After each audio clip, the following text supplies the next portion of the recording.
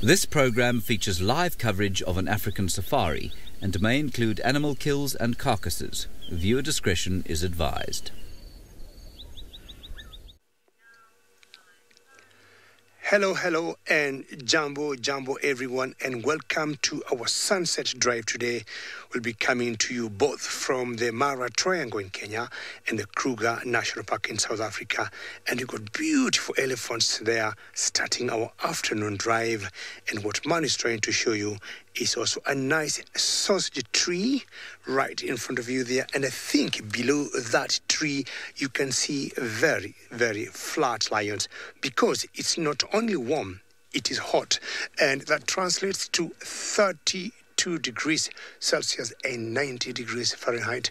As usual, my name is David. Nothing has changed. And with me this afternoon, my younger brother, Manu. Manu, how are you, sir? Remember, our drive is always very interactive. So questions, comments, as usual. Hashtag Safari Live on Twitter. And of course, you can keep following us on the YouTube chat stream. Now, interesting to show you to show you these lions here, which are just, of course, in the shade because, as I said, it's not only warm but hot. Anytime we get 30 degrees Celsius here, 90 degrees Fahrenheit, for us is pretty warm. You should see me in my shorts, and Manu also have some shorts and a very light t-shirt, just trying to fight the heat. And talking of this sausage tree here, it's not the very normal tree I've been talking about for many, many months because look at the fruits hanging there. Those fruit are what you call the sausages because they take the shape of a sausage as much as they got nothing to do with the sausages that we eat. You all know my favorite pride of lions is called the sausage tree pride, but apparently the pride down here, it's not my favorite pride. It's a different pride that is called the salt lake. To see them here is quite something, and I think one of them had me call it name, yes, and maybe it's just trying to affirm to me, truly, this is the sausage pride. And I have counted three young males and five females. And you can see why it's hot. And that one, to me, looks like Kipuli. Manu, do you agree? It looks like Kipuli to me, and this would be a very interesting combination. Look at him, and definitely, no doubt, that is Kipuli we have been with these lions here the last couple of what 10 15 minutes and we have been trying to digest or to know who they are by virtue of the location they are in. And the guy who just went down there is kipuli. The last we saw kipuli me and manu kipuli was alone and he fought two nomadic males and he did a very good job. Now recently we saw him again and he was with one youngster one male and not the other. And that one male he was with had been battered and had scratched all over. But now we are seeing him with two other young males and five girls. Interesting. I think the dynamics here are changing every few months. And what we need to do is to find out is it because of scarcity of food or is Kipuli getting other brothers and arms? You know, uh, getting more arms so that he can be able to defend a bigger territory. And now we want to see that young male there that is scratching itself to find out if this is the male I saw earlier, that was about two months ago. Not sure I was with Manu, but I think he could be the one. And yes, he is. He had many scars. And if you look carefully on his right, you can see the scar. Yes, definitely that is uh, the other the military. So, and I think uh, his scars have since healed. And I'm sure M told me to take you to South Africa. I'm not sure who will be taking to you, but I think whoever it is, she or he will say how hot it is in Djuma.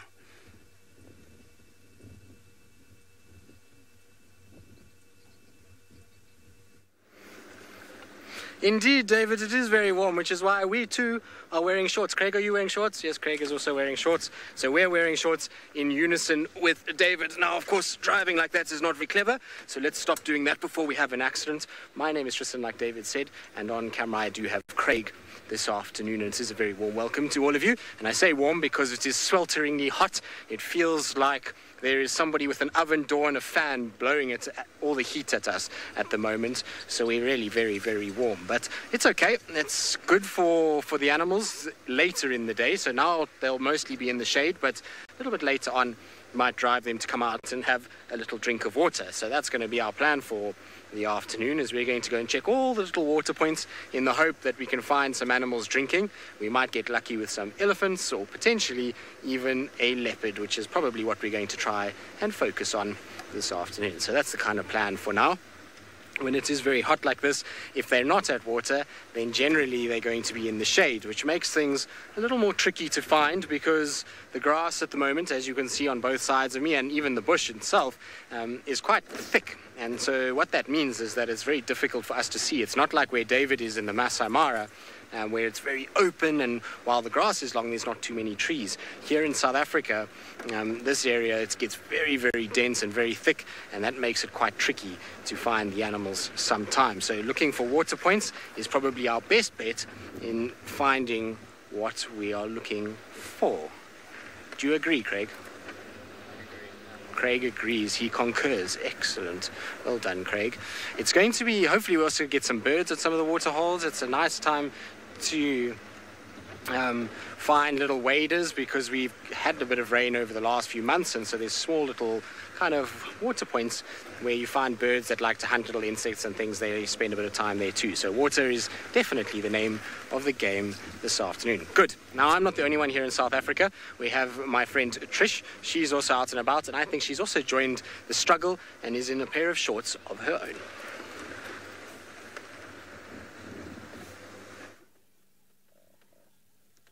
Hello, everybody, and good afternoon. Welcome to the Sunset Safari. I always get it wrong. But I am Trishala and I have Sev on camera with me. Hello. And of course, remember we're 100% interactive, so please use the hashtag Safari Live and, of course, the YouTube chat stream to communicate with us. And let us know what you think, what you'd like to see today in this heat. It's scorching at, the, I think it was 35 degrees, Emma? 35 degrees Celsius, about 95 or so Fahrenheit. So it's really, really hot. So Tristan's plan is a very, very sassy today. He's walked past me and pulled my earpiece out. So I think he deserves it. Should I do mine in the meantime while we drive about? Robert, Robert, Robert, Robert. That's as good as it gets for me. But uh, I don't know if Tristan can do any better. Well, we'll see. Well, we know we had Tlalamba this morning. So Tristan says that he might have a look. he might have a look. But all you guys are saying it was a delicate frog noise. Well, thank you. I'm a delicate kind of woman. I hope. Apart from my savage injuries that I constantly seem to get. I'm sporting a new injury today, everybody. Would you like to see it? Same leg as the as the broken foot, but it's my new injury. There it is. Can you see? New injury. It looks a lot more hectic than it actually is, I promise.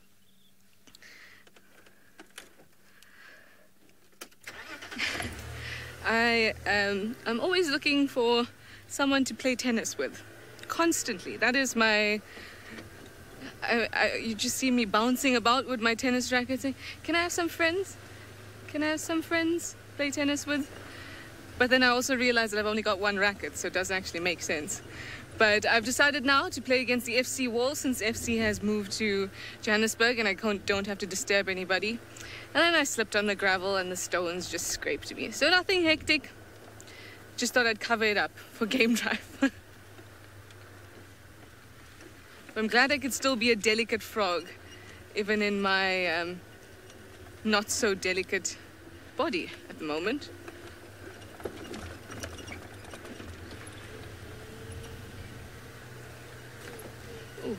Even the breeze is warm at this point. Ah, well, it is time. Remember mine? Rabbit. Rabbit. No, that was too much. Robert. Robert. So now I'll send you over to Tristan, see if he can do any better.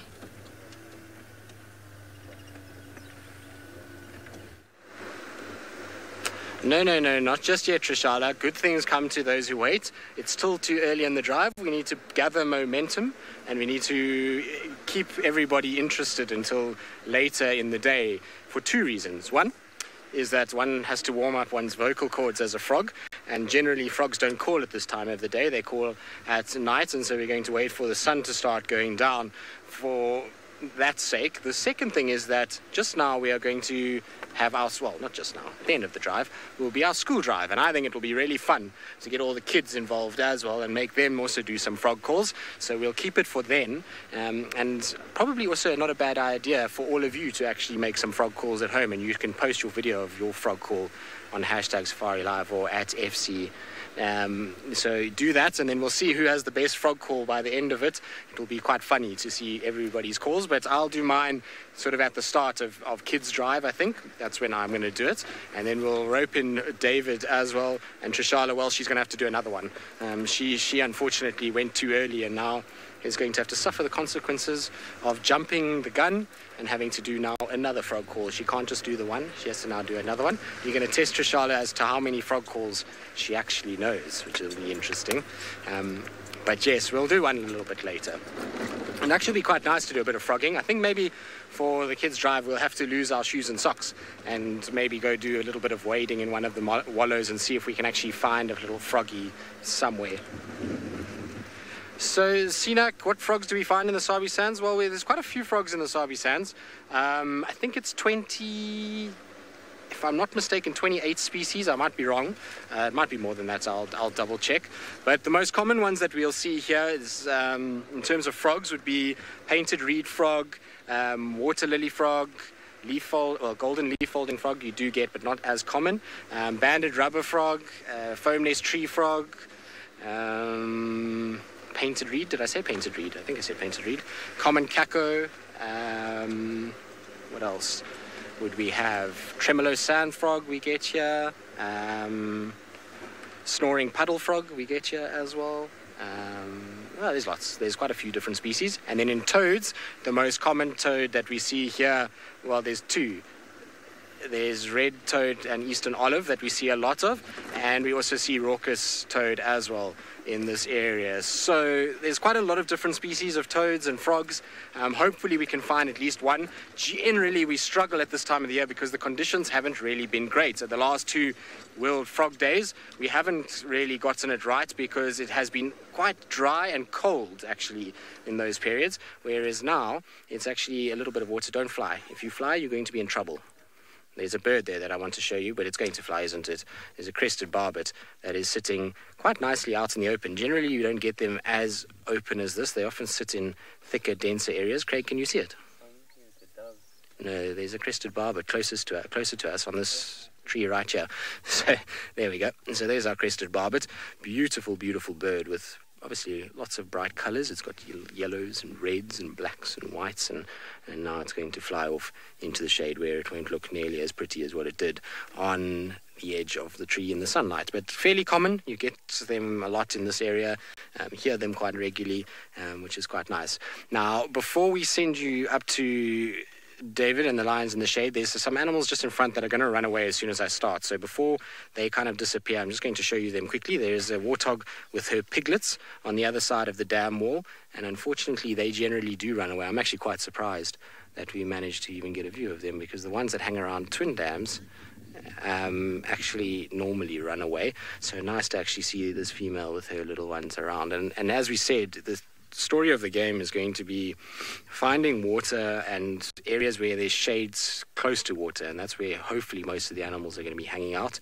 Um, these warthogs undoubtedly have come towards Twin Dams, not only to drink but to mud wallow. They're one of those creatures that wallows regularly. You'll find they'll get into mud and they'll roll around and they'll cover their skin extensively in mud. So pretty common species to find at this time of the day on a hot day close to water. Um, often you find them kind of glistening when you see them around this sort of time. They don't really come around sunset. They know that that's normally when predators are starting to get active, and also it's time to head back to their little burrows where they're going to spend the evenings kind of sleeping. Coast Slider, that is a cute little family. It's a lot more than you actually think because there's I saw four little piglets already go to the left behind all those bushes. So it looks like there's actually six or seven of them that are in this area at the moment, which is really, really nice. It means that this female has been very successful in raising her piglets, which is no mean feat in an area like this. We have a really predator rich environment in the Sabi Sands, particularly with leopard. And raising little piglets where there's a lot of leopards around is hard work. So she's a dedicated mom and a very good mother at this stage. She's managed to get those piglets past the most probably dangerous phase when they're very, very small and they're susceptible to things like snakes and birds of prey, as well as um, leopards. Now, Daniel, did you say you call them elbow eaters? Well, I suppose that's a fairly accurate description of what they do, given that they will go down on their what we would call elbows, um, to use their little snouts to dig up various roots and tubers. And so I suppose that's a fair enough nickname for them. Now I'm going to try and just go a little bit further forward and see if maybe we get lucky and we'll be able to kind of see the whole family before they run away. Although it looks like they're trotting down the road already. So we'll just quickly have a quick glance and see if we can get the rest of them. Yes, they're all coming down to the water, Craig. Look, they, maybe they're going to have a little wallow for us. Wouldn't that be nice? We're going to get all our little piggies in a row. So it's not three little pigs. It's how many we got here? One, two, three, four, five, six little ones. Oh, that's quite a quite a nice size litter. That actually, she's done very well to raise this many to this size already. Although I mean, these are still small enough that they would make a perfect snack for somebody like Tingana or even Thandi would be able to grab a warthog of this size. And look at the one that's now lying in the in the mud itself. So I was saying they like to have a good wallow, and so what you'll find is they'll lie down and then they'll roll around. And in fact, all of them are doing it just to the left now. They've all found themselves a little spot, and everybody's going to get cool by sort of plonking themselves down and, and having a really good wallow. It's one thing about warthogs is they are not shy of having fun in mud. They very much like some of their larger sort of counterparts out here, like things like rhinos and buffalo and that and ellies that do this.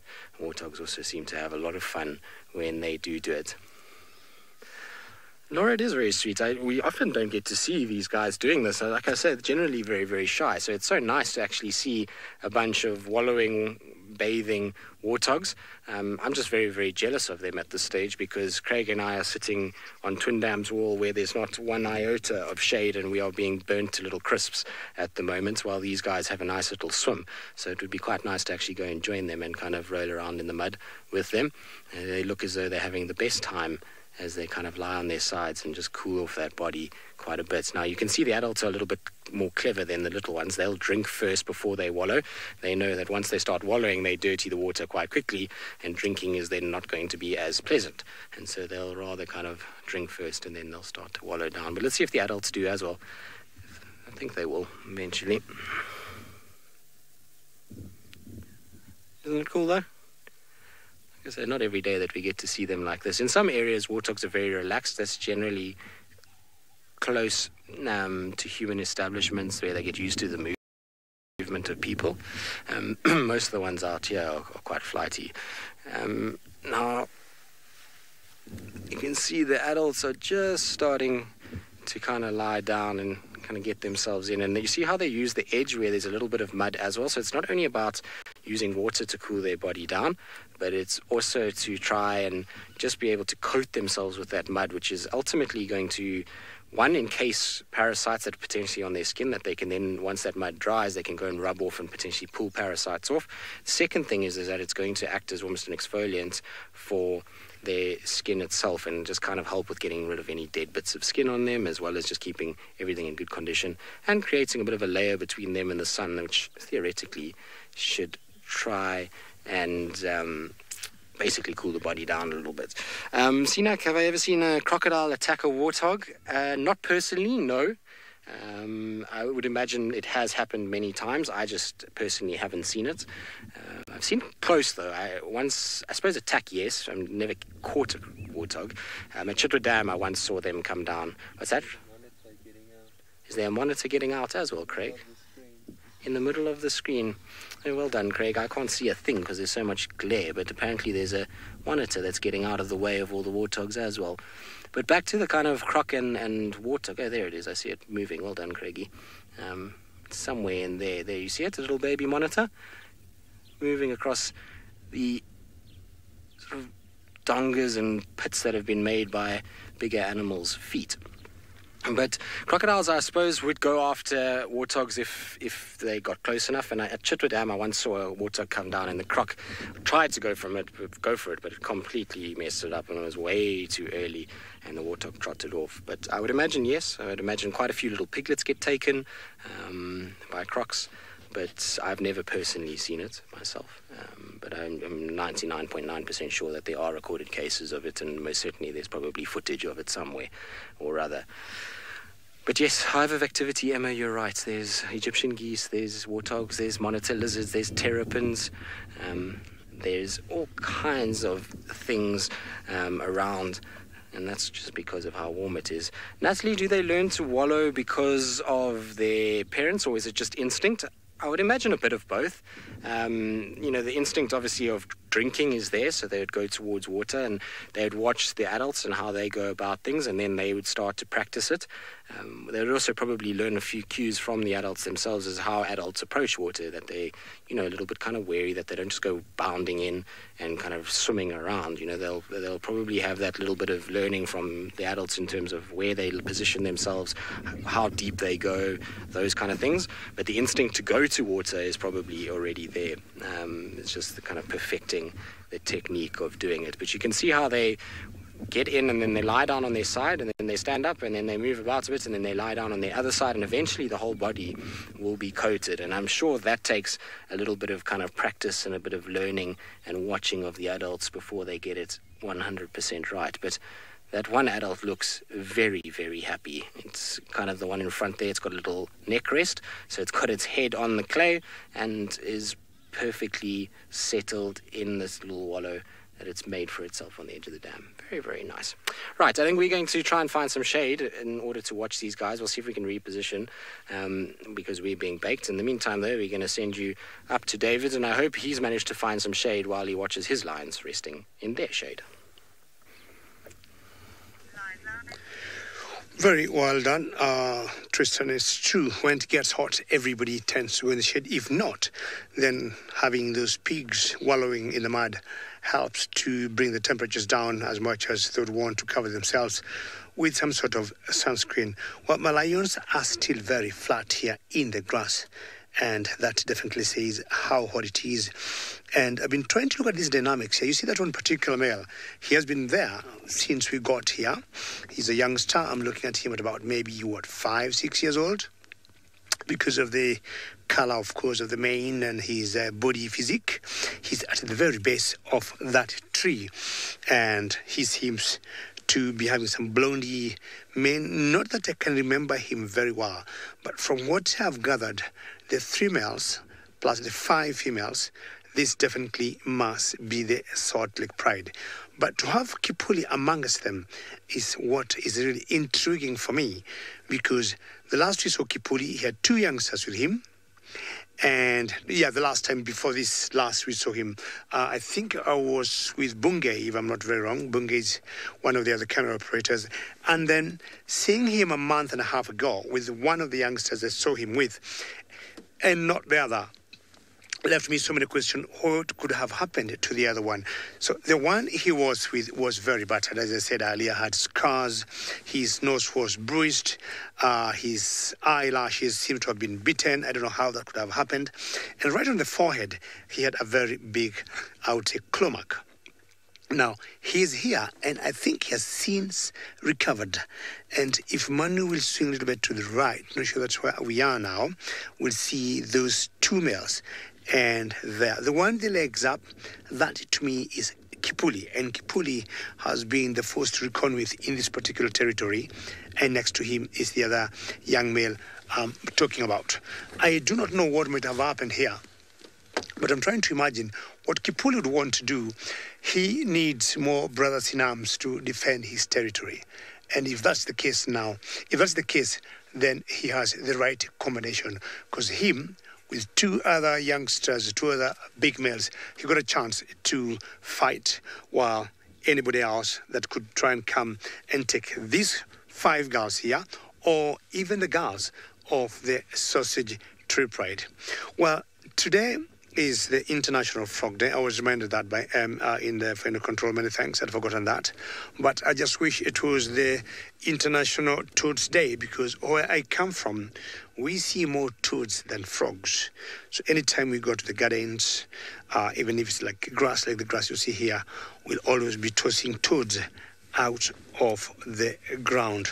Not sure, not sure any that could be here because there's not much water here, and of course there's too much uh, grass cover. There could be no room for a frog or even a toad. Now, you can see what difference a sh- shade can do because this particular area under this tree, what would happen is it gives it a very good shade. And Catherine, you have a very interesting question. Manu will show you the kind of tree, and you see those fruit hanging there. The name of this tree is called the sausage tree. And just because the fruit you see hanging there take the shape of a sausage. Now, I'll tell you something interesting, Catherine. In the last uh, 30 or so minutes we've been here, we have had two of these fruit falling down. And on both occasions, they fell very close to the lions, but they have missed them. And we saw them, all of them shot up, boom, just like a bullet or a grenade that just fell so close to them. Now, this fruit could weigh anything from what, a kilogram to two kilograms? I'm talking about three or up to four and a half pounds. And that is not lightweight.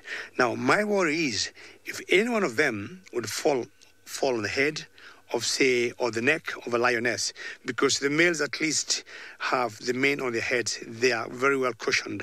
Should one of them fall on their heads? But i say it could be a very big bang on the head of one of them. Way back when we used to do safaris out there and we would drive big trucks called overlanders we'd look for a big tree like this one you see here and we'd eat under the tree. And if unfortunately any of the fruit would just, you know, loosen up, if it have ripened and fall down, either to get on your plate and toss your food in the air and you're down no more food, or it would hit you on the head. And I can tell you, you could, you know, have a very swollen head, if not very painful one. Now, still thinking why Kipuli should have joined uh, these two other males here and these girls from the Salt Lake. But I would understand because between the Salt Lake territory and the Sausage Republic, and where we are now, there's a very huge vacant area that's not occupied by any other males. And if you can remember, there are two other males that we call the nomadic males, where we had them having a very big fight last year with Kipuli, and Kipuli sorted them very quickly. If any competition Kipuli would be facing, or now if this new coalition would be facing, would be those two males. Those two males, we saw them yesterday, and apparently there were three. They've always been moving together, and one of them have that very short tail, and it got a wound at the very back, and that wound has not been healing. And my other friend Lauren might have seen them yesterday, I guess, and she easily thought it could be what we call uh, the Kichwa males, where we have one Kichwa male with a short tail, but that Kichwa male, or what you call, yeah, half tail or something, uh, its tail is healed. Whatever might have happened, it is healed. And I remember Lauren asking a very interesting question, or she made a comment. She would not have known what would have happened to that particular tail. Now, in the Mara, it's very common for us to see animals with half tails, be it lions, be it warthogs, and even elephants trying to remember the times I was in Djuma in South Africa, I don't remember seeing any cat with a half a tail. I don't remember an elephant with a half a tail that I saw. And apparently, way back, there's a particular area that we call the Gorge area near one of the camps uh, around here called the Angama Lodge. And there's a gorge there, and there used to be a very famous leopard there that had a half tail also and not very sure why we have all these animals having, you know, half tails, and we have always had our theories. They could have been bitten by something, it could have been an infection, or it could have been something genetical. But I'm sure before long we'll be coming up uh, with an actual concrete idea what could have happened to all these animals because we still see them even today. Well, these lions to me look very flat as much as we've got elephants there from a distance that are more entertaining as elephants will be uh, doing something. And for that reason, I would want maybe we, you know, bumble around, maybe come back here later when it cools off, and maybe find out why Kipuli would be here. And as we do that, in the meantime, we'll take you back to South Africa to Trish. Not sure she is anywhere near Chitwa Dam. Favorite watering holes. Now, interesting that David was talking about how some animals can get bits of themselves bitten off by crocodiles when they come down to drink. Well, this guy right here is taking that risk at the moment. Now, we know for sure that there's crocs in here, but I don't see any at the moment. So that's how they probably realize that it's a bit safer. Come down here and have a bit of a drink. Look at that beautiful impala. An impala really is a really, really beautiful antelope. I think we get so carried away with all of the other sort of flagship animals, the really pretty ones, the really ferocious ones. We forget that we have a fine. Oh, what scared you? Now you'll find that they're really skittish around water, and that goes for a lot of animals. Because water has the potential to bring danger.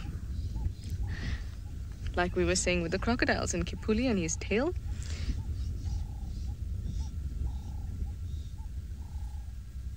So you'll find that they're really, really kind of not 100% dedicated to the drink.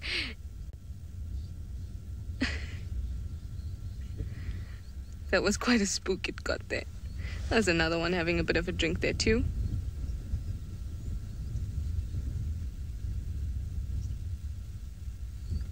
Always very vigilant. No, it looks like the other one's coming to spook it. Monique, you have a really interesting question. You'd like to know where the hippos would go if Chitwa had to dry up. Well, they'd have to find their nearest body of water. Now, obviously, Chitwa or any other watering hole doesn't just dry up at the drop of a hat. It happens in stages and then see it happening, and they need a requirement of about one and a half meters to actually uh, be able to for the water to be able to sustain them. So they really need that kind of water level. So if that drops to anywhere, even even if it's just you know it drops to 1.5 and they can still be in there, they will know at that point that things are not great, and they will start to move to other areas. And hippos, I mean, we know that in the in the evening they'll move out to to graze of course, and usually it's within uh, within four kilometers of uh, roughly of the watering hole that they're at, or that they uh, that is their territory. But there are instances of hippos that have traveled really, really long distances. I remember reading about a hippo in St. Lucia that had traveled, I think, 1,800 kilometers or something like that to another watering hole. So it's not outside of their ability to be able to travel vast distances to find water, and that is the main aim. He, he or she, or the hippo, that is their their lifestyle. It's like saying something was in the water and they needed to get to land. Hmm, very interesting. I have also wondered this a lot.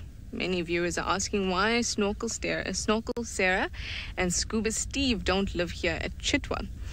I have um, a theory of how this might have happened. It's actually not very far away. Um, Chitwa and the Buffelshoek watering hole, which is where um, Scuba Steve and Snorkel uh, Sarah live.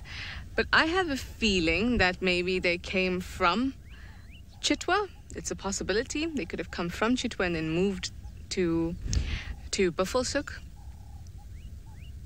but really there's no way to know for sure unless we had tagged individuals and we could actually track their movements.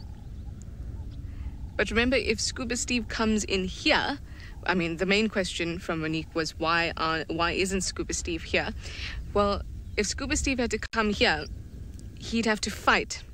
He'd have to fight the dominant male that's here at the moment.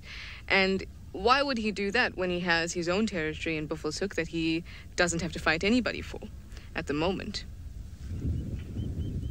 There's some action going on there. So it all comes down to everybody wants to be the highest ranking. Everybody wants to, to be on top, the high ranking individual, and to drop down, it's just not worth it. So that's why I think Scuba Steve and Snorkel Sarah have been down that end. And also, I don't know if uh, if Scuba Steve has always liked that area and now he's gone. And I mean, when it dried up, he had to go. So all the water's been gone. So, you know, there's a whole lot of things you can talk about when it comes to those two.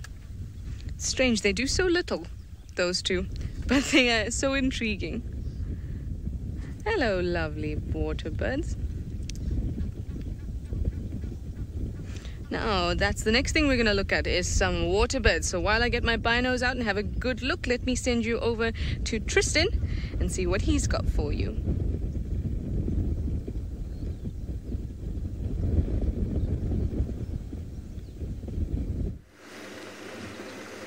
Well, I don't know about trying to cool down. We're just kind of puttering along. It's hot wherever you are at this stage, whether you're in drainage lines or out in the roads. But we tried to move closer to our warthogs to try and see how they're doing and, well, to get a little bit kind of a better view and get some shade, but they ran away, unfortunately. So we left them there and then we checked the Mlowathi just quickly to make sure that Thandi hasn't crossed further to the east, given that she was seen this morning. Um, but there's no tracks for her there. So the guys that actually saw her last are going into that area. So I'm going to leave this kind of space for them to go and scratch around and do their thing and see if they can find where they kind of left her and whether or not there is any sign of her at this stage. So we're heading kind of more northwards um, along Vultures at the moment. We're going to head towards sort of where Columba was left, roughly. Um, we're taking a bit of a detour to get there. We've been checking, like I say, the Mlowathi, and we'll check Hyena Road. Just there's some pans along Hyena Road that Columba sometimes likes to use. I suspect, though, however, that she hasn't gone too far from that Gowrie Dam area. I think it's, so warm today that I would be very, very, very surprised if she's headed very far and has gone kind of far from where she was left because it got hot quite quickly this morning. Um, and so I'd imagine that she is in probably still somewhere in some shade, kind of lying down. But we'll just double check anyway. It's worth kind of having a little look around. So we'll go up Hyena Road and then round and come down sort of Gowrie Cutline area and scratch around, and see what we get. Maybe also not a bad road this for if there is any buff on the property or if we get any ellies, they sometimes come around the side, come and have a bit of a mud wallow so it's good to, to check. So I believe some of you are saying that Thandi is being very sneaky. Yes, she can be a sneaky one when she wants to be, um, and she is being incredibly sneaky of late.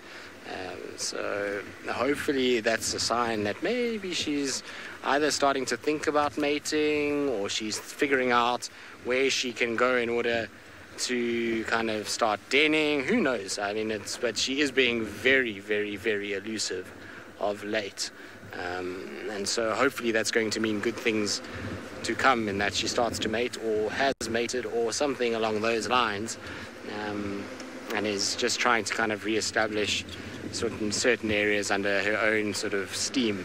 What's also interesting is this morning where she was seen is quite far to the west for Thandi um, a lot further west than she has been of late. Um, Treehouse Dam area is not kind of where Thandi really spends most of her time. It's mostly to this eastern side. And so it's going to be interesting just to kind of see, is she marking that area out um, and in the hope that she's going to kind of push Columba to that sort of section? Or is she starting to mark that out to make space for Columba on this eastern side? It's going to be just interesting to kind of see how it all plays out over the course of the next year or so. It'll take probably about six months, I think, still, until her and Columba kind of separate, and then Columba's got to grow a little bit and establish herself, and then we'll see kind of how this is all going to end up and how the two of them are going to be able to um, kind of settle and figure out whose territory will lie where. But it will be an interesting kind of thing to see. So hopefully we can find either one of them this afternoon and we can delve into it a little bit deeper. In the meantime, though, back to Trish, who had her binos out, and I hope that she has spotted something of interest for all of you.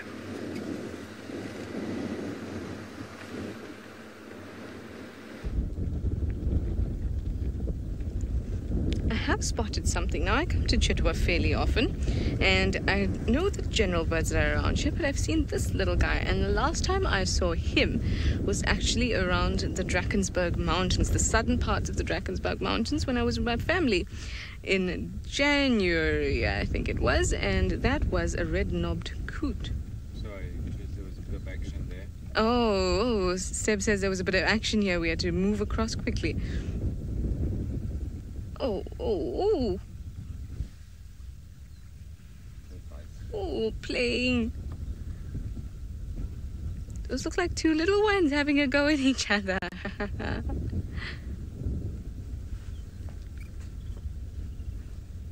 come up, come up. Oh, isn't that cute? Almost makes you want to jump in there with them. They're so cute and the water looks so good. And I am so toasty. oh, look at those little ears.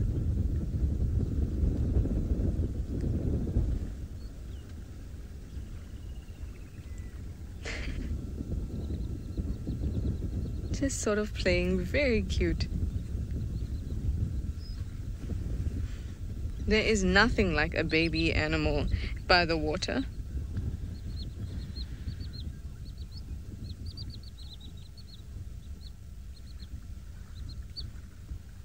It's actually quite busy. Of course, there are no lovely eddies and things coming down, but still quite busy at Chitwa. Lots going on. Oh well, there's my back at my rob, robbed nebbed, red knobbed coot. that black one in there. I don't have a great look at him because he's quite an impressive looking thing. If I show you here,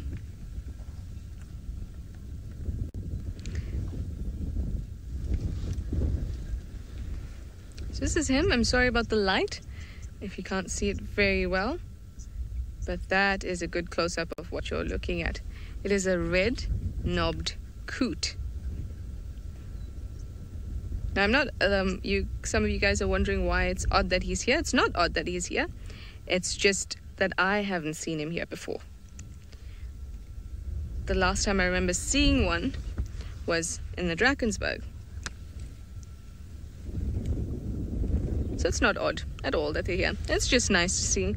It's just nice to see. It is an interesting bird. I like the really white face of it. Hey.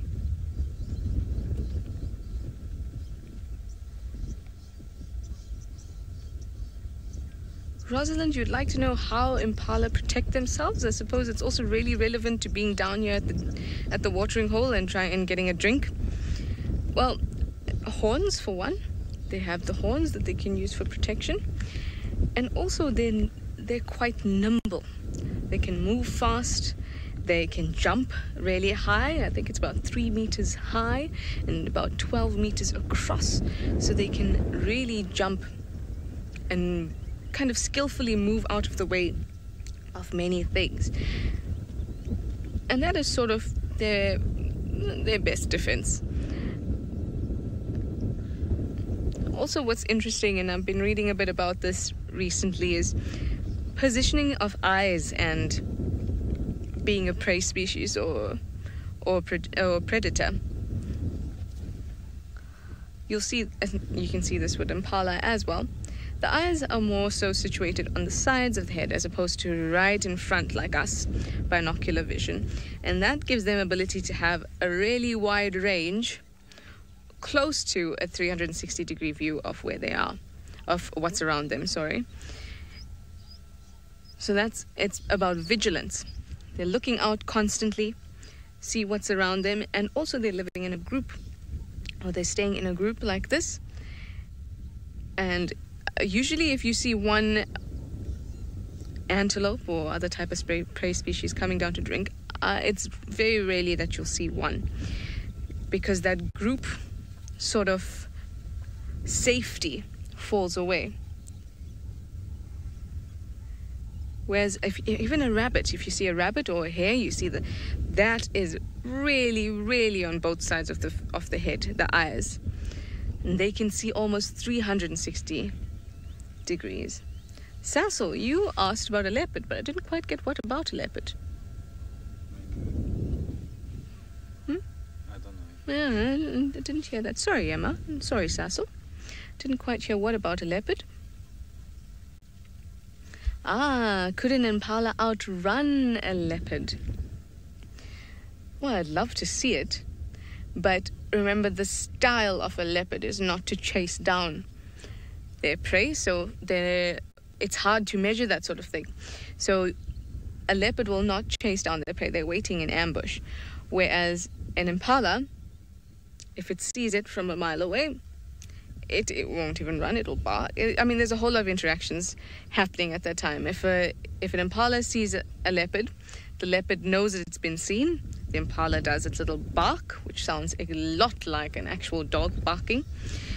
and when the first time I heard it, I didn't actually think it wasn't coming from an impala. And then the leopard knows it's been seen. So it's not as if you're thinking they're savage. Leopards are savage and they're just going to go after them. If they've lost their element of surprise, they're not going to do it. So that actual the actual interaction of them running or the leopard trying to chase down the impala won't act- won't really happen or it'll be very rare that that happens uh, another an example where that where that actually might happen is would say a cheetah and a Thomson's gazelle so a, a cheetah can travel up to some people say 120 kilometers per hour. It's more likely more around 100 and 110 some people even say more than that. But we won't really know for sure but that's the the speed at which a, che- which at which a cheetah can move. And then you get the Thomson's gazelle which is probably moving at the same speed.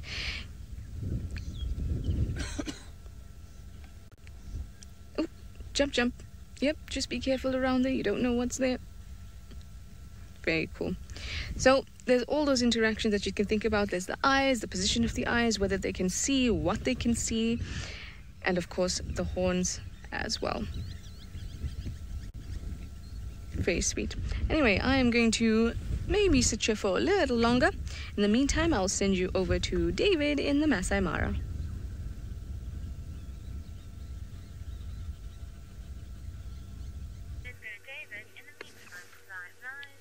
Well, Trish, don't go anywhere because I initially said I'll go somewhere, but then I changed uh, my ideas shortly after because as soon as I left the Lions, two girls or two females rose, looked around, and they told man, you know what, we have to go back where we are.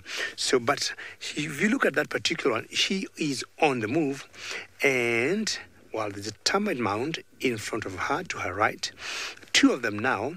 And I only got a feeling they could be going to look for some water. And if that will be the case, it will be exciting to see them drink water. As I said again earlier, it's a very hot day here in the Mara Triangle. And if they'll be going to drink water, there's a place that have always had like a natural well. You like the, the Chitwa Dam uh, in Djuma in South Africa. Here is an area which have always had like a spring that never dries up.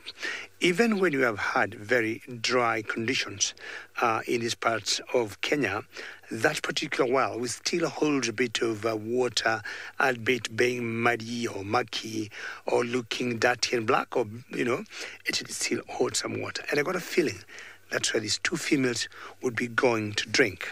Now, you can see how they blend in very well in the grass. So there's that one particular female, and there's another one following behind her. And I'm sure man gonna smoke her out of the grass somewhere. There she comes. Thank you, Manu.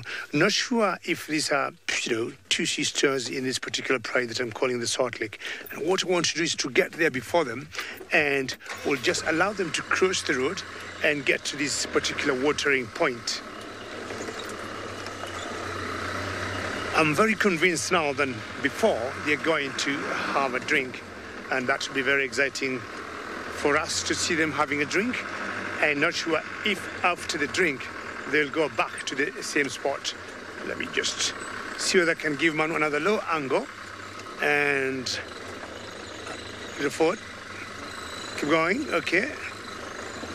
Okay, right there. So one of them, the one that's leading of the two females, just stopped there to have a wee break. And I'm sure as soon as she's done, she'll be on the move again. And you can see the amount of light shining on her neck, how hot, you know, the sun.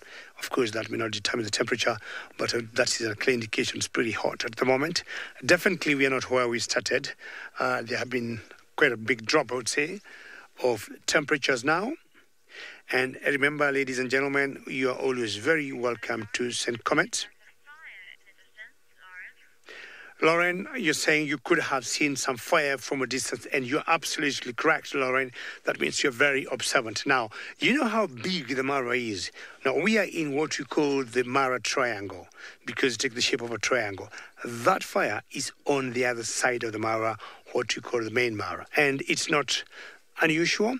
This time of the year, when it's very dry or before the long rains start, we'll always see fires everywhere. Most important, fires in East Africa are all man-made and we don't see any natural fires here. So I'm sure it will fade down and the game rangers definitely are on it, making sure maybe no animals are hurt, but the animals are pretty intelligent once they see the fire and the smoke they'll move to safer distances. Now, this particular lioness is still walking, and very soon, maybe in the next one minute or so, she might be crossing the road. Not sure she's a slight limp. Maybe I'm wrong. I think she's just perfect. Maybe I'm trying to remember Limpy of the Sausage Tree Pride. She crosses the road. And if for once anybody will ask me why these lions want to cross the road or why she crossed the road, I will have 115 and 50% correct answer why she crossed the road. Because I'll say she crossed the road to go and drink some water. Now, this is the other one that's coming. And apparently, even a third one, Manu, if you see. So, we got three of the five girls that we saw earlier that were under the sausage tree. And I'm still hoping none of them was hit by those sausages tree coming down, and maybe a fourth one from a distance. And what is interesting, there were five females and three males. Only females have walked to go have a drink, and wondering, did they take so much meat earlier? And why not the males, which to me I believe they would be eating more meat than the females. So what we'll do now, we just have to move forward a little bit because the first one that was leading uh, the pride is just about to get the watering point.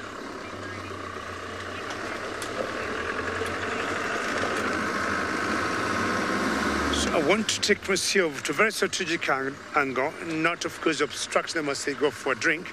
You can see that is the other one. So I'm going to stop here and wait until maybe two or three of them are at the watering point. And as I wait to do that, we'll take you back to Djuma to Trish.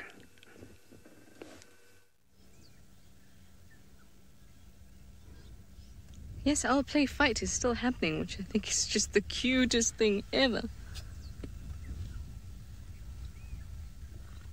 Look at them go. It's amazing how you can actually see baby. But they're going down and coming up again. I was saying it's so.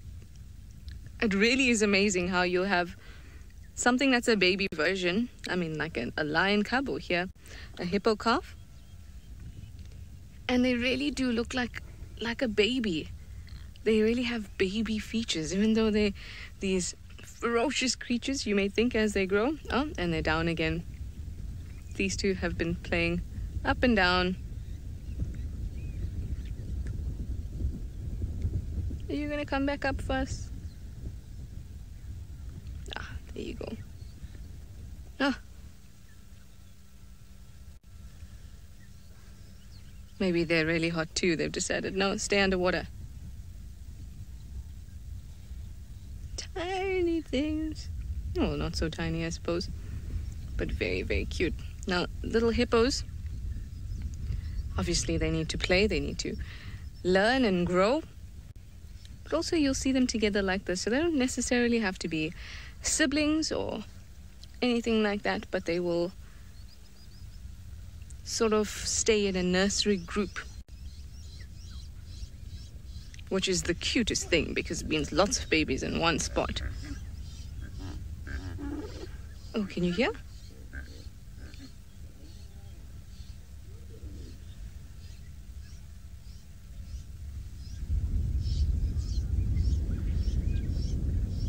Very cute. Cheryl, you'd like to know if hippos have twins. I'm quite sure that they do not. I think twins would be really, really difficult to carry as a hippo mum. I think it would be already hippo calves weigh something like 40 kgs at birth, possibly even much more.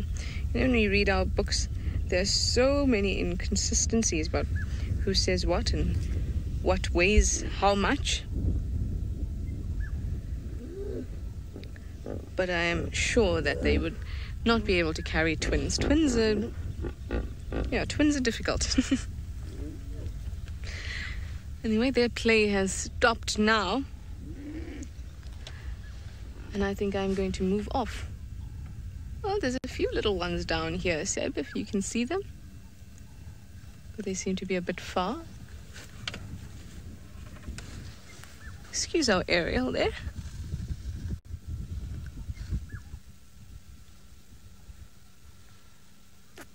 Oh, that's a little one. Why aren't you with the rest of the group?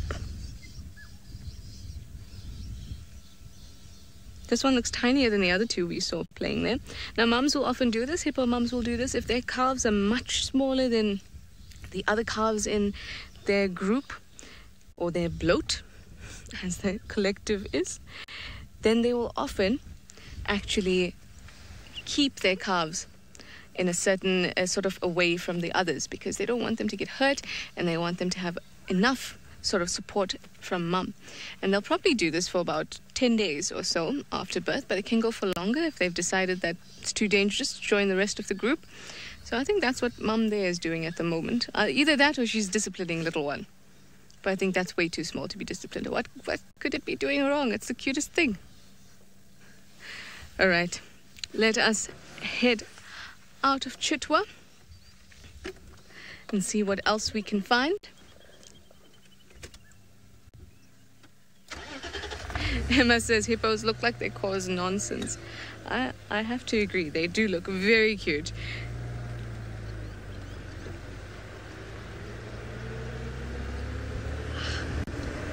Bye, Chitwa.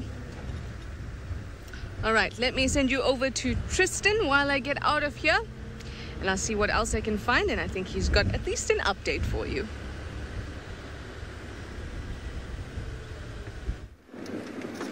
Well, at least you had something, Trish. It's been very, very, very quiet on our side of the reserve. We haven't seen very much at all. Just a lot of elephant tracks and elephant poo and elephant dung. Uh, well, I suppose that's elephant poo and dung is the same thing, isn't it? I meant urine. It's one of those afternoons where things are getting mixed up and words are not coming out, but it's okay. We'll eventually get them out the way we want them to. Um, but we are heading towards uh, Gowrie Dam at the moment. Emma is giving me trouble now. She's being ugly to me, everybody. Just can't do anything around here without the FC jumping on your back about it. Just kidding. Um, so we did hear some Ellies across from us on the other side, and we saw lots of trucks and things. So we're going to just see if they're coming towards Gowrie Dam. I'm not being sassy, Emma. Uh, I'm just just joking around, just kidding, as they say, as a kid would say. Right, so we're hoping that there's going to be Ellies coming towards the dam. That's what I'm hoping for. I hope they haven't already been. Somebody's probably going to pop my little balloon and my idea by telling me that the Ellies were already at the dam five minutes ago. But let's go double check and see. I certainly don't see them. Well, there's the world's impala population at the dam, that's for sure. Craig, I don't know why I keep punishing us. And, oh, sorry, Craig, sorry. It's very rocky down there. Oh. Right.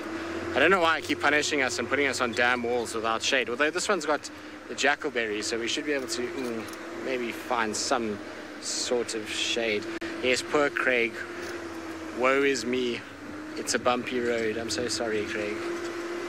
Right, let's stop here, Craigie, where it's at least a little bit of shade. Look, Craig, I'll leave you in the shade and put me in the sun.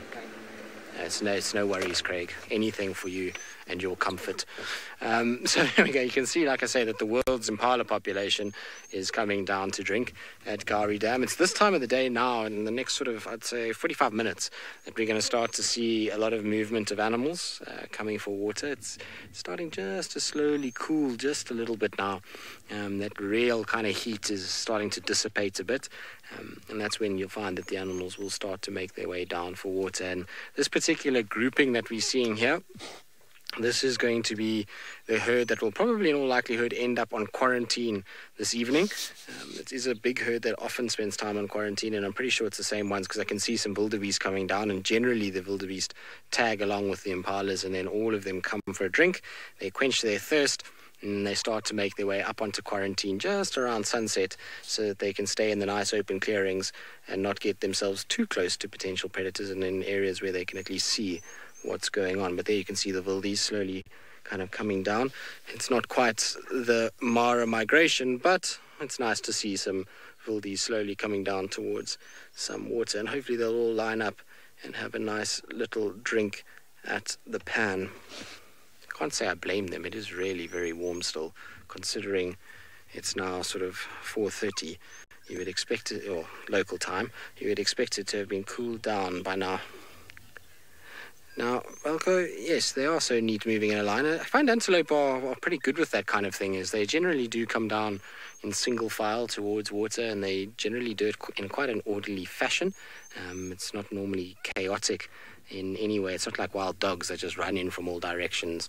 Um, these guys generally, you'll find, come in a nice kind of neat little line, and then everybody sort of lines up along the bank and finds their little spot, and then they begin to drink. You can see the impalas all kind of looking for a little place to drink, and they are still wary, even though there hasn't been a crocodile that we know of in this water. Um, for many, many, many months. These guys are still fairly kind of nervous. You'll see they'll drink for a little bit and they'll reverse backwards and then come forward again. Now, Vicky, you say party time at uh, Gowrie Dam. Seems like it. Now we just need little Columba to come to the party. Apparently, she wasn't too far from here this morning. Um, she was headed kind of northeast away from this pan, but hopefully she'll arrive, and that certainly will put proverbial cat amongst the pigeons in this particular party. But it would be nice if she did uh, make a welcome addition to the guest list. I'm not sure the impalas and the wildebeest would agree with me, but well, what can we say? We're biased towards having little Columba around. I know. Thanks, Emma. Very punny, wasn't it? Emma's giving me lots of trouble today. I don't think Emma's finding me too funny today at all. Anyway, it's okay. I'll survive, I think. As she once told me that she said, because Emma has got red hair, she said to me that gingers have no soul. And that's why she was being, maybe that's why she's being so nasty to me. anyway, maybe not. She's probably going to kill me at some point uh, in my sleep. Uh, she, when next time she visits Djuma, I'm going to. If you don't see me the next morning on drive, you'll know something's gone wrong. But anyway, we're going to spend some time watching these guys have a bit of a drink, um, and then kind of probably have a bit of a drink of our own, um, and see. and so while we kind of sit here, Emma's saying that the entire Facebook world is going to be out to get her. Don't worry, Emma, there's going to be a whole bunch that are going to defend you, for knowing that I'm full of nonsense as it is. In the meantime, though, let's pop you off to David in the Mara um, and see how his lines are doing. One of the predators. Line five. Well, you're very right, Tristan. I'm following a very special predator here. I'm calling her special because it's lioness like any other lionesses you've seen before, but she is on a very fast move, and definitely she is not going for a hunt. I got a feeling she is going to get her cub somewhere. She stopped at one point on a termite mound, and looking carefully at her, I saw some suckle marks, which means she is nursing or she's breastfeeding, and definitely she must have left the cubs earlier in the morning somewhere. I think it's time for her to go catch up with them. Now look at see the height of the grass. She definitely tends to disappear in that uh, red oat grass, which is getting taller and higher with a minute. And so, what I want to do, because I do not want to lose her, is very slowly to drive in this particular direction and find out where she is going to lead us. Well, I've been seeing so many cubs here lately. Uh, you all know the Uluru Pride of Lions. The two females there are the good cubs. You all know my favorite Pride of Lions, the Sausage Tree Pride. Phew, so many cubs in that particular pride.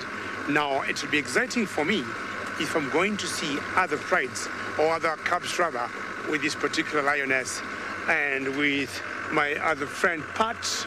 You saw the Owinos also have cubs, and I think the last they had there were three, as much as Pat lastly saw only one. I think going to be a bumper harvest of cubs here uh, this particular time, and I'm sure there could be a question there that I might have missed, and I'm sure M will bring it again. So I have to be careful here because of the rocks.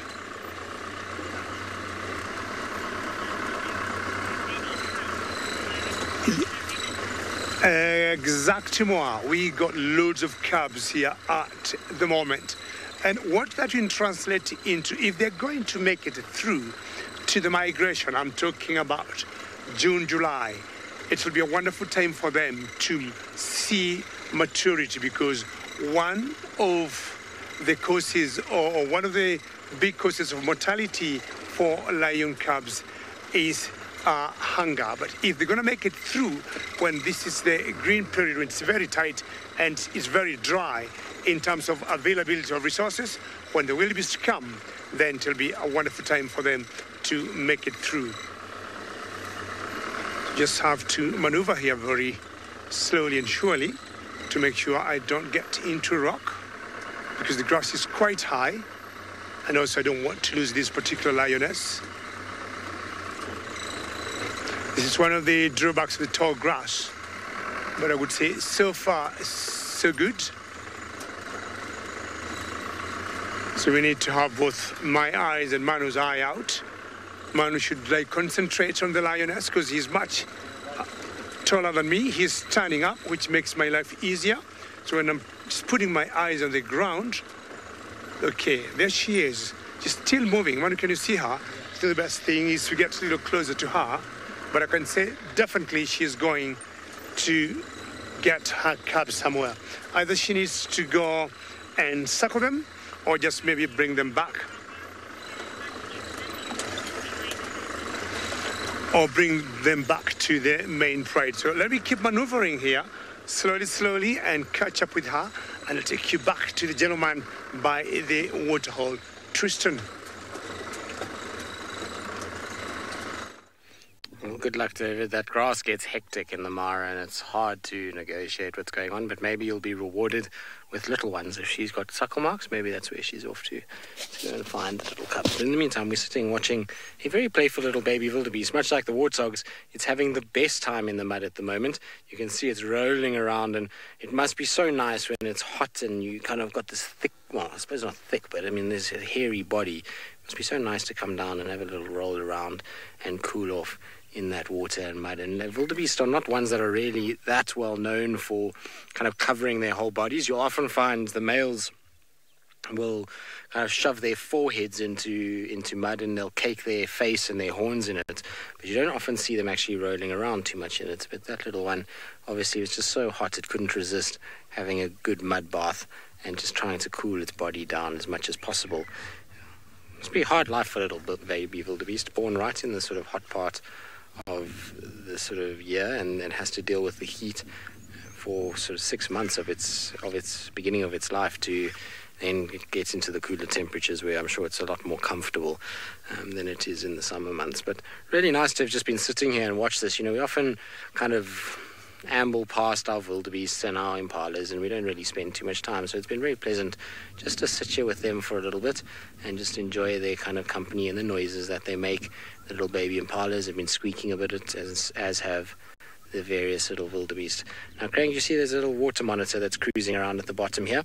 It looks like it's investigating some elephant poo down right in the bottom left corner of the dam. You see there's an elephant poo right closest to us in the corner, and there's the monitors just kind of moving around on the poo itself at this stage. It looks like it's almost trying to clamber up on top of it. It's not going to go well because that's going to be moving around, I'm afraid. Should be quite entertaining. Let's see if it keeps trying to go up and over. No, it's decided just to cling on. Well, I suppose this is a natural pool noodle, really. So, um, dung floats generally, and this monitor lizard might be thinking to itself, well, I don't feel like holding up my body, so I'm just going to grab onto the dung and use it like a pool noodle and float around the dam and just kind of have a bit of fun. Exactly. An elephant lilo smells a little bit, but certainly gets the job done if you're a monitor lizard. You see, it's got its head up on there now, and it's basically taking it very easy and can kind of uh, float around dam like this. Now, Titanic flashbacks. I don't think it's quite as dramatic as that, and I don't think many people on the Titanic would have wanted to use a elephant blue lilo in the middle of a freezing ocean, but um, this this monitor lizard, I suppose, has certainly made use of it, and I, I, it's not really as important as a lifeboat because the edge of the water is about not even one kind of body length away from where this guy is. You can see there it is there, but. Um, I suppose when you're feeling lazy and you don't feel like holding your own body up and swimming or sitting out in the hot sun, sitting on with your head on a piece of elephant poo certainly does the job. Quite clever if you think about it, though. I wonder how many times it's done this before. Certainly the first time I've ever seen a monitor lizard rest its head on elephant poo floating in a water point. I have, can say I have honestly never seen that before, which is quite crazy. I suppose they use rocks and logs and things, but maybe it's not as comfortable as it looks. So a lot of you said you didn't know that. Well, you didn't realize elephant dung was as buoyant as it is. It is very buoyant stuff. There's actually quite a few floating around along the edges, and even towards the middle here, there's two big kind of balls that are floating along, um, and so it's it's very very buoyant. And you find that it it often kind of sits on the top of the the water, and when a big herd has been around. What are you doing, monitor lizard?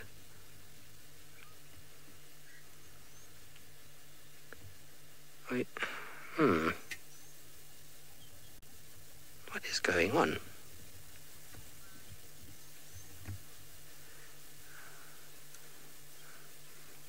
I have no idea what this monitor is doing. It's kind of going back and forth. It seems like it's quite confused with life. Hmm. Let's see where it ends up from here.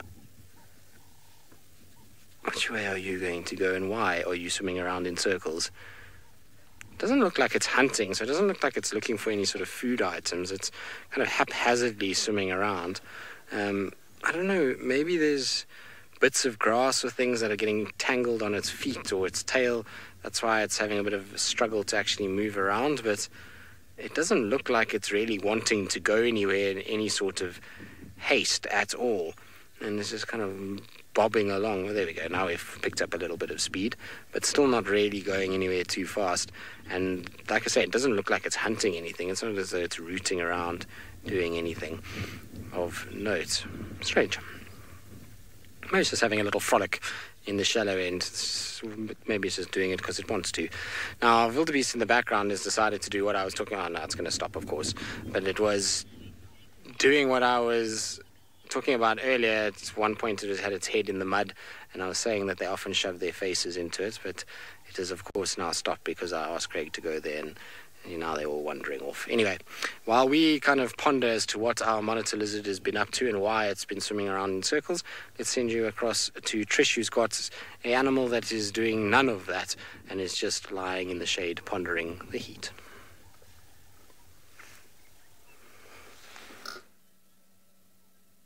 My hyena truly is lazy. Look at her. Oh, well done. You picked your head up, girl. This is his ribbon. Of course, part of our Djuma clan, and I am at the Djuma den.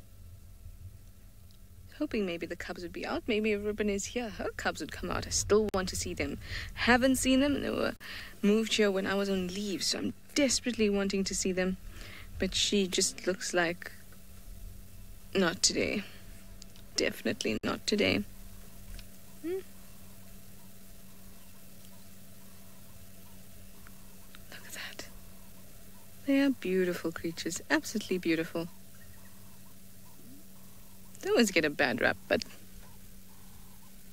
Well, I suppose we all kind of think of them as these conniving creatures. You guys are glad to have me back at the Hyena Den. I am ecstatic to be back at the Hyena Den. Always love it. Love all my girls here. I wonder if they if they know me. I know they won't know me like, uh, oh, hi Shala, as I'm driving by. But I wonder if they know my smell or my look. Shizeb, you say such a lazy girl. Is there any other word to describe her? Yes, we're talking about you. Yes, ribbon girl. You're being lazy. Can you please bring out your cubs for us?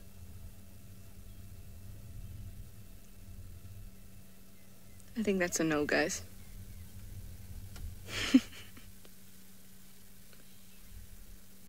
oh,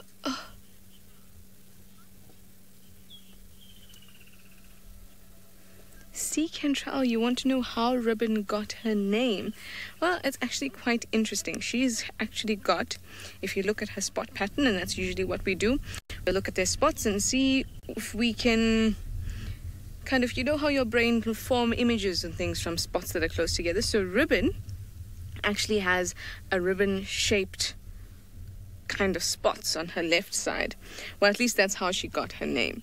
Now, I don't always see it very clearly, but I always think that she's got lines of spots. In fact, you can see it there on her flanks, on the sides of her. You see she's got lines, like kind of two lines coming down, kind of like a racetrack almost. I always think as those of those as ribbons, but I know her mostly, or immediately the first thing I see is her ear, and that's how I know it's ribbon immediately. She's kind of got that B, B shape plus the nick at the top.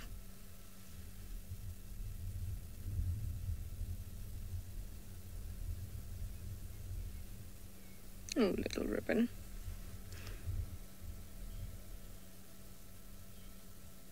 Hmm. You'll see hyenas often have nicks all over their ears rips, tears, nicks, however you want to call them. They often have them all over their ears. And of course, that makes it easier for us to ID, but it's also because, like I've said before, this kind of social organization that they have at the moment, um, uh, well, that they always have, hyenas have, is openly competitive. So there's always bits of fighting going on. Low ranking individuals can try their luck.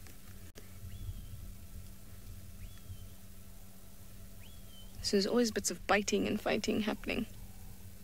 It's very, very rare to see ones with whole, whole ears. Joy, Joy in Hong Kong. How lovely to have have you with us. Yes, I do agree with you. She does have a butterfly ear. I think it's very cute. See, she's she's hiding it away now because she's shy. Ribbon, show us your butterfly ear, please. Are you listening to something there?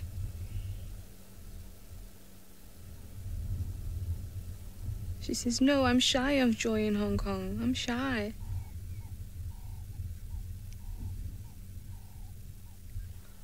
Now, Emma has just put an idea in my head, and I think I like it. She says it would be hilarious if hyenas had earrings. I think it would be great. I've always thought that um, I'm sure you guys are familiar, at least some of you, with Daryl the elephant that often comes around camp, big bull, and he's got a hole in his ear. I always thought you could put a bangle through there or something. He'd look so cool. He'd be the envy of all the other elephants.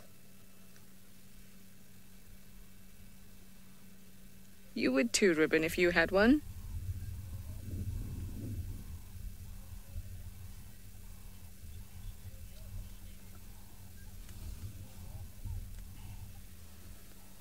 You can look at her nose, you can see that she's breathing quite well it's not it's not exactly panting, but there's it's deep breaths. You can see the nostrils flaring. Open and close, open and close. You see it with a lot of animals. that the nose stays quite moist. And you see it with dogs, I'm sure you know, with your dogs at home. And that is actually that moisture keeps them cool because then the blood goes through the nose area, gets cooled down by the evaporative cooling from their nose, and then they can stay nice and cool. So let's see if Ribbon wakes up. If she doesn't, I'll have to move on, maybe come back a little later. In the meantime, let's go back over to Tristan. Oh,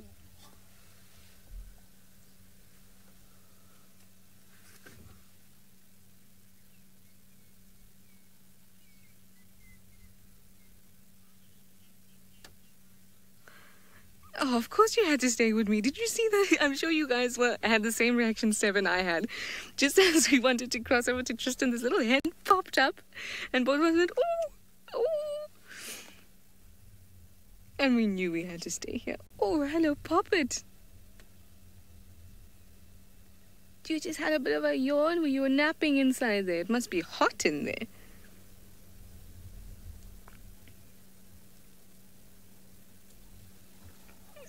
Cute.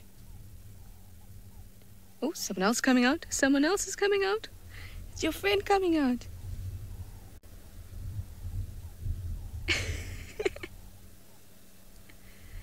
I'm gonna play hide and seek with you. Now.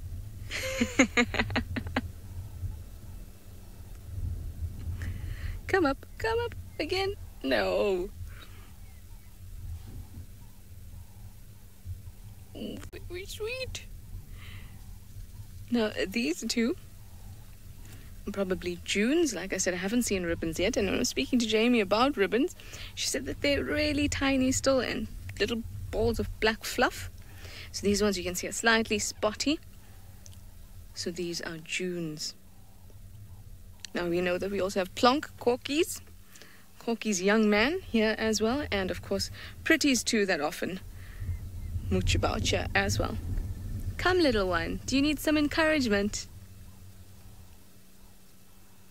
It absolutely is precious, Linda. I couldn't agree with you more. Those little heads, when they pop out of that den, those little heads are just too precious. Linda's sending you some love. Yes, she thinks you're precious. I think he likes your comment, Linda. You still playing hide and seek with us? Let's see what this other one is investigating on the side there. Kind of had his nose up to the window. Wonder if he smelt something. I actually don't know if this is a boy or a girl. Like we've said to you before many times, it's really hard to tell with hyena because of their really odd genitals. They, both sexes have a scrotum and, of course, a penis, a pseudo penis. So it is really difficult even at this point. Now, if this other little one come out, I think that would be really great to share with a bigger audience. Come encourage your friend to come out.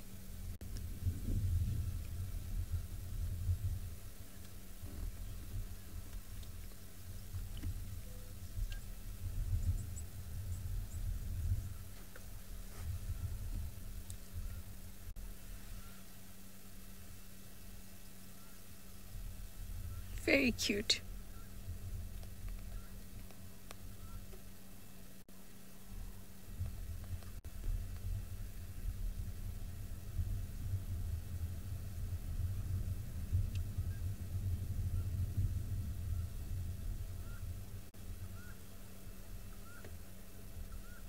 Oh, can you hear the birds?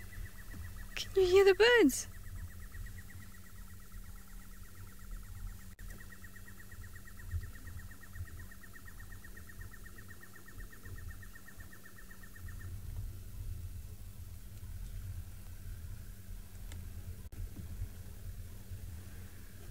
Janet, what your what uh, actual really nice observation. You say that you think the first one that came out is the dominant one. I think that's a good observation. came out first. It was a bit more confident. The other one was kind of a little bit more afraid, still in the still in the actual den. Well, your guess is as good as mine at this point, but it's always nice to watch cubs interact because then you can get a really good idea of who's dominant over who. But if you remember, if you remember when Pretty's cubs were born, and one was really small and one was really big, and we thought that it was because, oh, biting flies, stop biting me. And we thought, of course, it was because the one obviously was dominant over the other one. And when we talk about dominance, it's not simply, I will kill you or attack you while you're in the den. It's also about I'm going to deprive you. I'm going to deprive you of food. I'm going to deprive you of the spaces that I want to sit on, and all those things can affect the health of the hyena, of the little cub. And when we saw that, we were we thought that the bigger one was dominant over the little one because of that type of deprivation. But it turns out, mm, Jamie was actually speaking to us about it as well. Jamie is the expert when it comes to these guys. We were actually saying that the smaller one seems to be the female. So that's interesting. So it may have just been that the smaller one got sick or something like that. And remember, we saw them kind of fight for the same position when suckling. And when when cubs have sorted out who's dominant and who's going to be subordinate, they know exactly where to go and suckle in the positions that they need to take. And they were fighting over the same position to suckle um, when Pretty had those cubs. So it's always really interesting to see them interact and actually you can clearly see. So, not a bad guess there to say that one is out and confident, but see, gone straight back in. Now we've just got Ribbon chilling.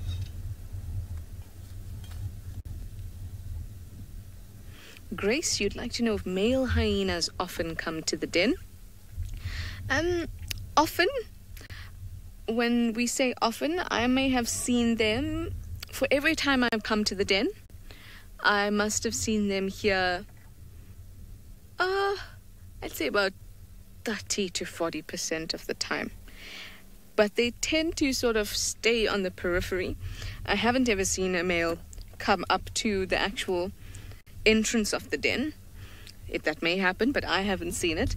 But I do often see them on the periphery, kind of around the den. And what the females will do is they'll sort of employ them to be babysitters of sorts, and they'll hang around and take care in terms of watching the cubs. And that is a really integral integral part of being a male hyena because those male hyenas that are of course those are not part of this uh, or rather they were not born into this clan so they are trying to get uh, sort of accepted into it. And it's not just about acceptance it's also about mating rights. So if they hang around and they be really nice to the to the females and this can take months then maybe the female will mate with them. So they do tend to hang out a little bit around the den, of course, but I most often see males kind of alone and um, near kills. That's where I most often see them. But like I said, it's a, a big part of their life to be able to to be able to integrate themselves into this into a clan where they can breed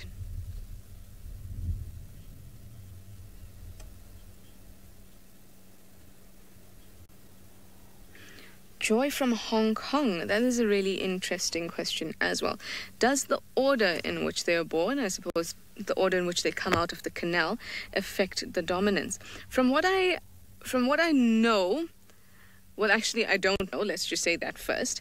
But if I had to think about it, I don't think so. But there are certain things that do affect the dominance um, sort of in vitro, which is really interesting because hyenas have a really similar placenta structure as humans do. And um, I thought it, I think it's called hem, hemquarial, something like that. big scientific word that I can't really, really uh, remember at this point. But what it means is that the blood barrier between the placenta, or rather between the mother and the blood vessels of the of the baby, there's not many barriers between. So there's a good transport of nutrients and blood between them, and of course hormones. So the young get an influx of the the sexual hormones, the androgen, all of that, and they get a really big boost of it while they're still in the womb. And the amount of boost they get depends on whether the mum is high ranking or not. So, for example, we know that the, the pseudo scrotum and the pseudo penis that the females get are also a result of that boost of testosterone androgen that comes in and that's why they get that but the amount that they get can also be based on whether the mum is high ranking or not and that's really interesting because that relates to this is very scientific now, but it relates to the size of the telomeres, which are the little kind of caps at the end of the chromosomes. And it appears that subordinate or lower ranking individuals have lower caps on those telomeres, and whereas high ranking individuals have higher caps. And what that means is that higher caps indicate better health, less stress, and longer, long, well, yeah, higher longevity. So they live longer. So when these hyenas have a whole lot of stress going on and they are subordinate, they are kind of shortening the telomeres. And that same sort of shortening affects the amount of sex hormones that get put into or get transferred to their young. So it's really, really interesting, really delicate, and very molecular at this point. But it's nice to see how those things that we kind of just observe actually have an explanation. They actually have down to a molecular explanation of why this is happening. Which I think is I think is very cool. It also speaks to the complexity of these creatures.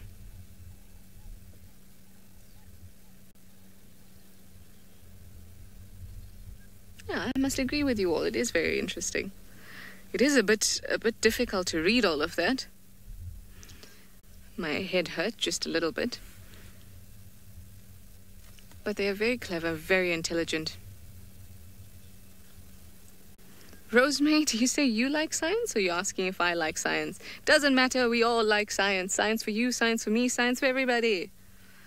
I do, I love science. I hope you guys do too. It's always nice to get down to the nitty gritty. we all, we all get some science. There's even some science for you there in FC. Science for everybody. But I like it. I like it because it sometimes the just the explanation is not sufficient for me. And I want to know but why? How does it happen? Where does it happen?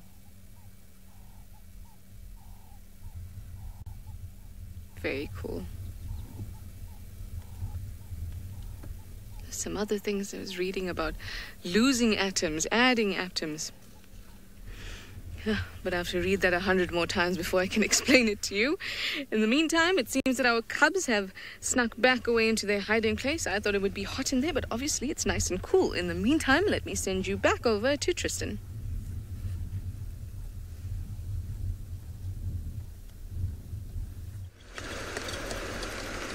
Well, we're still bumbling about, just trying to see what's around. Uh, we checked kind of the roads around where Columbo was seen. She hasn't come out of the block yet, um, by the looks of things, but it's still so warm that that block, the grass is so thick and so um, dense that the chances of finding her is going to take quite a long time on foot to find her. You know, we're not going to be able to just kind of spot her from the road, I don't think, unless she's up on a mound or a tree.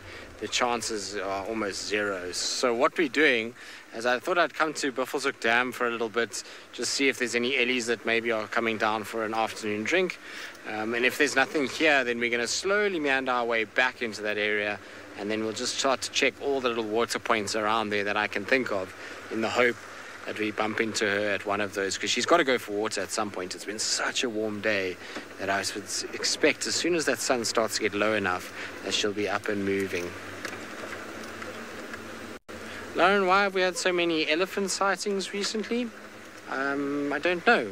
Certainly, I, to be honest with you, I haven't had any. So, um, everybody else seems to be seeing elephants but me, which is quite strange. But anyway, um, no idea really. It, it could just be a, a situation where there's a lot of growth that's taken place um, in the last few months, um, and that's led to you know a lot of good food available. Um, I don't know. It's it's an interesting one because we certainly haven't had the sort of rainfall that some of the other camps have had, um, and we certainly haven't really kind of um, got any fruiting plants at the moment, which means that I'm not really sure why we've had an influx of Ellies of late. Um, I I suppose there's really good grass growth at the moment that's all seeding, and so that's pretty good for the, for them. But that should be the case pretty much all over um, the Kruger Park system. Um, so I don't know. Maybe maybe we maybe we just have something that I haven't noticed that they're feeding on. But it would certainly be nice to see that there's been a lot of Ellies around of late. Um, you know, it's always nice when we get lots of Ellies and big herds in particular is always very very pleasant. As you can see, Scuba Steve and I don't know if Snorkel Sarah's here. We were ch- chatting earlier about. Um, Scuba Steve and Snorkel Sarah. Well, I wasn't, but Trishala was. And I'm pretty sure that the reason they're here is probably because he wasn't a strong enough bull to challenge at Chitwa Dam and was chased out of that area, potentially, if he did come from there or from another water source and found this with nobody home. And so this is the perfect place to settle if you're a younger bull that's not strong enough to challenge the bull, the big old bulls, then, well, why not come into an area like this um, and spend some time here, and then uh, if there's a female around, well, she's just kind of incorporated her into his grouping, and they've then sort of established this as their water point. Now, of course, if it really rains and it starts to kind of fill up properly, which it hasn't done by any stretch of the imagination, this dam is still incredibly shallow and, and low for what it should be at this time of the year, then this would be a really great place for hippos to be.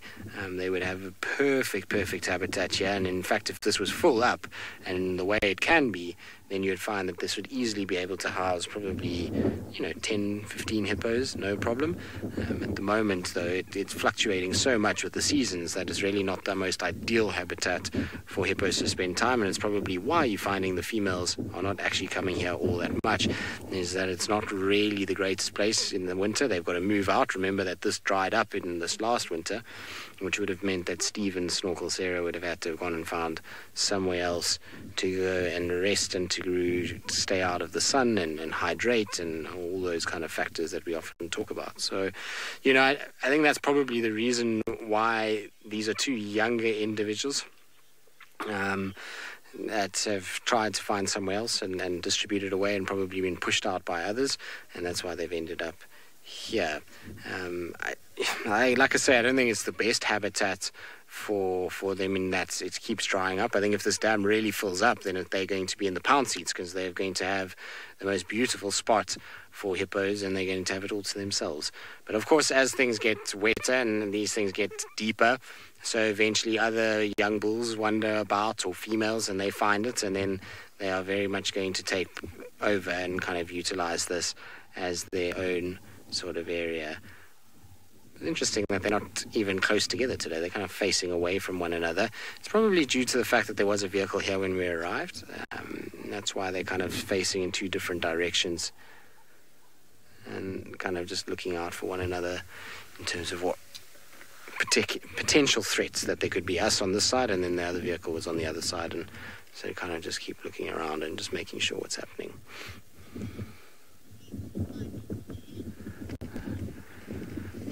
Zephyr, you think so? Well, we'll certainly see about that. At, at some point, Scuba Steve is going to have to fight for his little water hole, and um, he, you never know. He might get a bit of a hiding if a really big bull comes along, but he might also, you know, develop. And because nobody's kind of come in the last year or two, he's grown and gotten bigger and maybe he will be able to defend it and keep it as his own. But it's going to be interesting to see how it goes because if we don't get any more rainfall, let's say hypothetically no more rain um, for the rest of the summer for us, and, and we kind of get nothing before winter, this is going to dry up again. It's not going to be full. You can actually even see on the edges of Buffelshoek Dam already that little island is starting to form midway through the dam. Now, this island kind of cuts off the dam into two sections. I mean, it gives you an idea of, even though it looks like a beautiful expanse of water at the moment, incredibly shallow. And so that kind of mud there is starting to show now, and eventually this becomes an island, and then the water will start to dissipate. So there really isn't a lot of water in here, and if we don't get any more rain, or any decent rain, should I say, then in all likelihood, um, Scuba Steve is going to be having to look for a new home, and not, life is not going to be that simple. Um, it's tricky for hippos to find new homes. They've got to travel long distances over rugged terrain, and obviously you've got to compete with a lot of other individuals when they do so. All right, well, we're going to leave the two of them. There's no sign of any um, anything else happening at Buffelshoek Dam, and so while we carry on and go and see what else we can find, let's send you across to David, who's driving off into the sunset, I believe.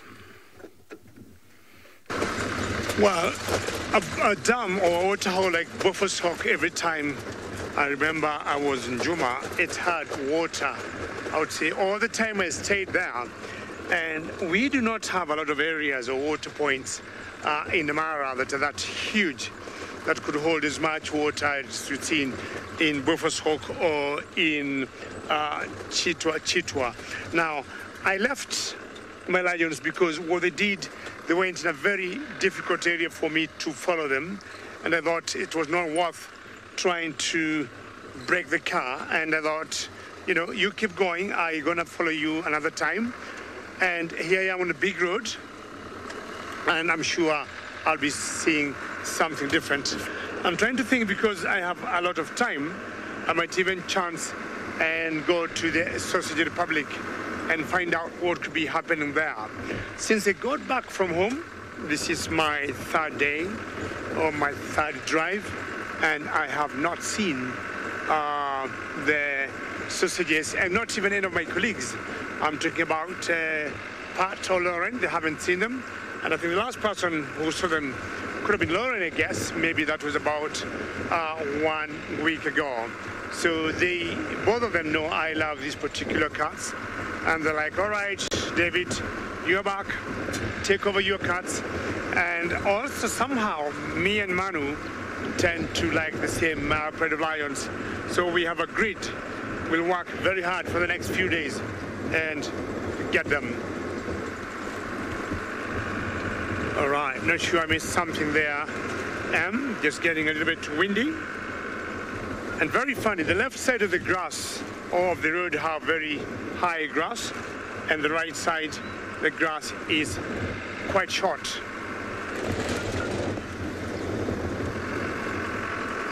Yes, you are all very correct that the Sausage Tree Pride are my favorite. And I'll say for one obvious reason, I mean, the area they are is one area they have always protected, and they're protected against other lions. They are protected against other species like hyenas or leopards once in a while. But above all, uh, they got nine cubs of different ages. And there's nothing as good as that.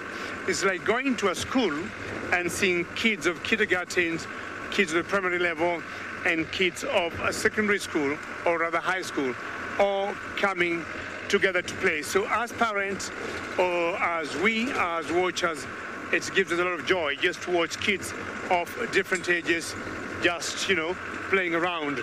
And when you see their mothers watching, all the five females in that particular pride, when you see them watching, it's always very interesting. Not sure there's anything on top of that rock there. And of course, there is either some, uh, the African jacana man, it is that bird there that's got a white head, very good. And we call that bird the African jacana. They've got very huge feet and they can basically just walk, not on water, but they can walk on the leaves or the lilies that float on water. It's beautiful bird. We see the polyandrous. You'll get one male with a couple of females. And the plant in front of it there is very similar to what we call the water hyacinth. Water hyacinth, which has been a bit of a concern in certain freshwater lakes in Africa, including the largest lake we got here called Lake Victoria. She's definitely hungry, busy feeding on some little, I would guess, any invertebrates right there. See the bluish grayish front head or forehead that she got. And the beauty about them is what I was saying, they can comfortably see how she's walking on that leaf and they'll not be able to see. Oops, that was a very quick uh, number two.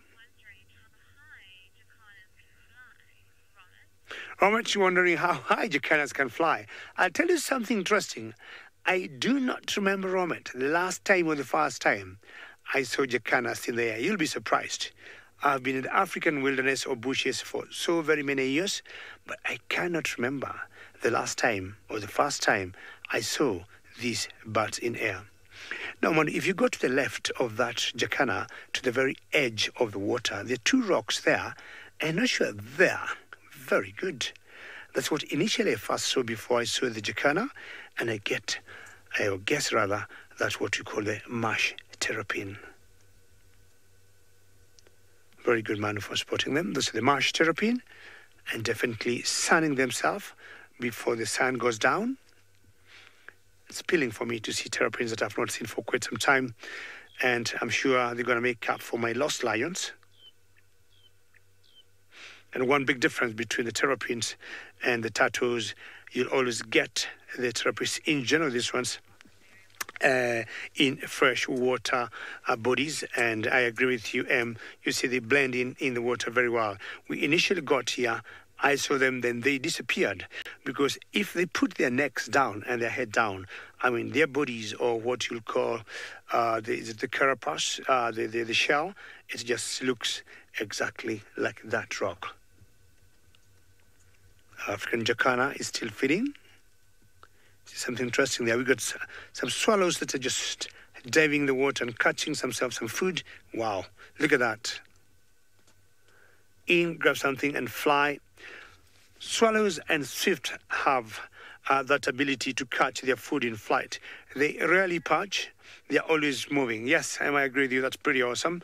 Just to see how they're feeding, and they'll catch whatever it is. If they need to crush it, crush it very quickly and straight to the tummies.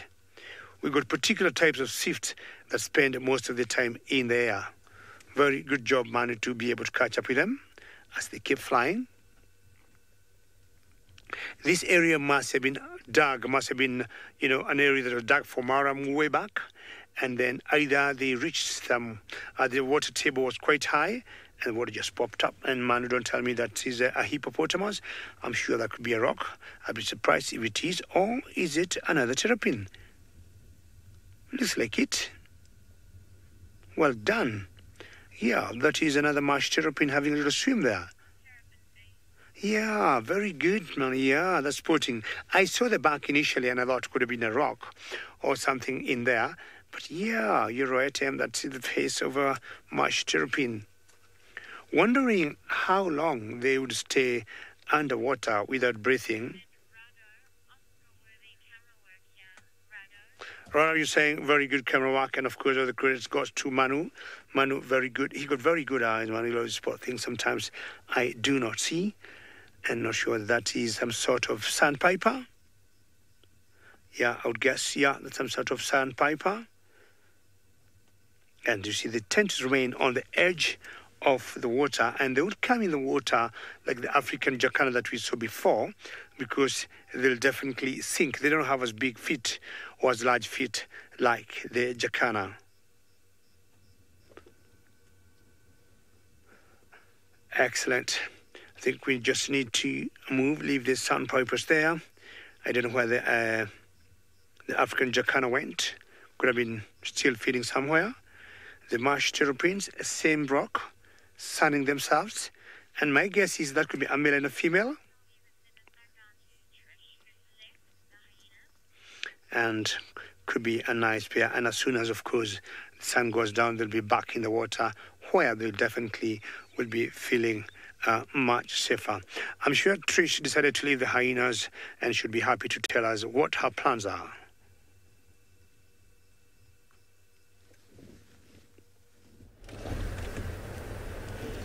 I'm also waiting for the sun to go down just a little bit. But I must say, it's cooled just the slightest. It definitely is a softer kind of sun and heat now. Yes, and we said it's all about water holes today because that's how hot it is, and I am on the part of the reserve that has very few water holes at the moment. So I've decided to leave Ribbon and June's cub at the moment because June's cub kind of snuck back in out again just a little bit, and I want to return there in not too long. We have the kids joining us a little bit later, so I'd like to show them the cubs. So I'm going to return there. So don't despair. I will be back there. I should probably tell myself that. That's what I'm telling myself. Don't despair, Trishala. You're going to go back there just now. I do love it. So now we are just on the kind of extreme west of the reserve. And I'm hoping that I'll be able to find some elephants. I've had such good luck with elephants the last few days that I'm hoping they'll be around. I did check Twin Dams, and that is the dam that's probably that's the dam closest to the hyena den, but no luck at all. Like none. There were not even birds hanging about there. There were a few starlings in a tree, and that was about it. And of course, doves. Have to have the doves. Oh, at least there's some nice shade here. Wonderful shade. Yes, there's always doves. I remember uh, when I asked, when we checked Galago Pan once, and I said, What do we think is going to be there? Kirst popped up, and she's like, Doves! Yes, because there's almost definitely going to be a dove. Well, I didn't get to speak to you yesterday, but yesterday was, in fact, the, well, what was the date yesterday? 19th? Was it the 19th, Seb? Uh, was it? Today's the 21st. Today is the 21st, is it? No, today is the 20th. No, it's the 21st. No, it's, it's 5.21, so I read the 21 minutes. Oh, while we get our dates in order. So yesterday was the 19th. Yeah. So yesterday was the 19th, and on the 19th of March, and last year, yeah, 2018, get my year right at least, was the anniversary of the death of the last northern white rhino. His name was Sudan. So I did want to speak to you about him. I'd like to tell you a little bit about something in history for that day. Today there was not too much. Oh, except for International Frog Day. Let's not forget. And let's not ever let Tristan forget that he's got to do a frog noise for us. He's got to croak. Yes, he does. But um, that's a nice one for today. And I think there was something about a radar, but not too much biological importance.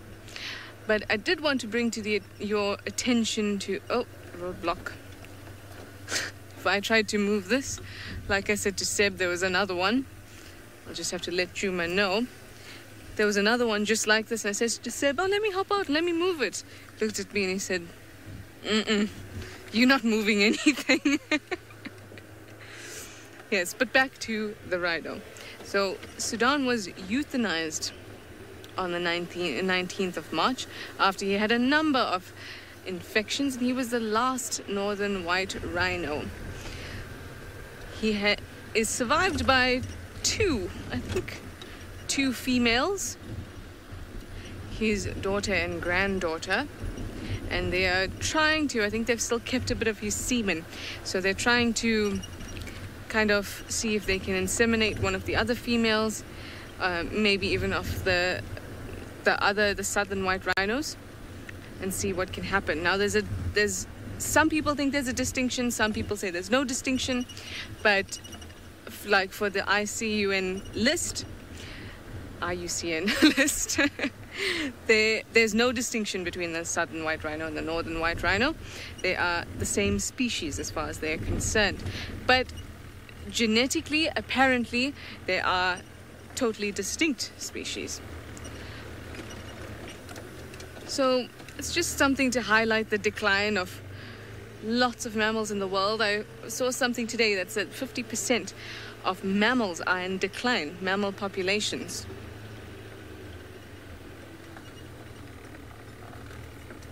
Janet, you say it's really interesting that the females are still alive. It really is, but also remember those females are his offspring, so it's his daughter and granddaughter, so he is probably a lot older than him than they are. I don't know actually the exact ages, but they are probably much older than he is. But it is it is really interesting. It's kind of you feel so disconnected from it sometimes because it's happening in this part of the world that you may not be in. It happens all the time for everybody. You're so focused on what's happening around you that you forget something, the last of something went away, the last of something died. And that always strikes me. I feel there's very few, at least from the time that I've been alive, very few things that were the last of. It is, it is absolutely severe. 50% of mammal populations are in decline. Just something to keep in mind, and something, of course, to appreciate the fact that we get to see these mammals all the time. We get to see whole lots of things elephants, lions, all those big cats, beautiful things that we get to experience every day and that we get to bring to you. Yet they are in decline. But the more we do this and the more you interact and you get to know them and you learn about them, the more appreciation and awareness goes around. And that is always, always key. Sorry, I made it a little bit solemn, but I thought it would be interesting to bring it to your attention. Well, speaking of beautiful things, it's not always the animals that are beautiful, but the earth is too. So let me send you over to David and see what he's got for you. Well, today's waterholes, landscapes, and other beautiful things, and we have the sun trying to set. Not yet, I would say. It's still bit early by like what another uh, ten minutes, uh, I reckon, before it goes down. But still, those clouds there is what I requested Manu we stop for because they look like very beautiful clouds for some rain uh, later on to come. It could be tonight or the next couple of days. Look at that. In Africa, we'll always have something to show you. I've always said it's not necessarily the animals, but also, you know, we've got wonderful sceneries. And in the background, what you see there is the Oloololo escarpment. And because we are quite a distance from it, that's why you see uh, Manu capturing most of it. And Manu is the camera operator with me today. And oh, the trees you see there are the torchwood trees, very iconic in East Africa and also Kenya and Tanzania. Tanzania is the country south of Kenya. And of course, the beautiful savannah of the Mara Triangle. How lovely is that? Not once in a while we've seen lions walking, you know, through such grass, and I'm trying to wonder the particular prey they lost earlier, where it would have gone. Magic Dragon, the best sunset I've ever seen, is right here in the Mara Triangle. And that could have been at the end of last year. And not sure I saw it right, but Magic Dragon, I thought that sunset took rather long to disappear. And I think even as it went down, I was left still watching. And Magic Dragon, I hope you can see those egrets just flying across there. And I'm imagining uh, a sunset uh, Magic Dragon with such beautiful birds flying in front of a sunset. It would just be so magical to see. I've always said, uh, Magical Dragon, that sunsets and sunrises in Africa are very special. Not that they're not in any other part of the world, but what happens is when we see them, we have what I call very clear visuals, or we got what I call no visual pollution. Because for the last, I think, 45 seconds, three minutes, I mean, one minute or so, Manu has been trying to put this in frame. You haven't seen a car, a building, a plane. It's just nature, wilderness, and now again, the sun trying to push down.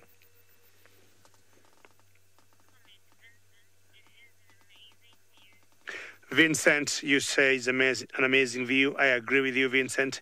And hopefully, one day when you make your way here to Africa, you'll be lucky to see this. So, what I'm going to do now is to turn around. And there's an area where my heart keeps telling me I might have passed those lions behind me.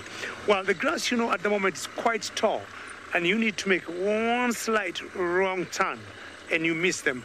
Or they could even be, like, for example, right here, three meters from where I am. And if Manu is not standing, who has the advantage of the height uh, more than me when he's standing, we'll just miss them.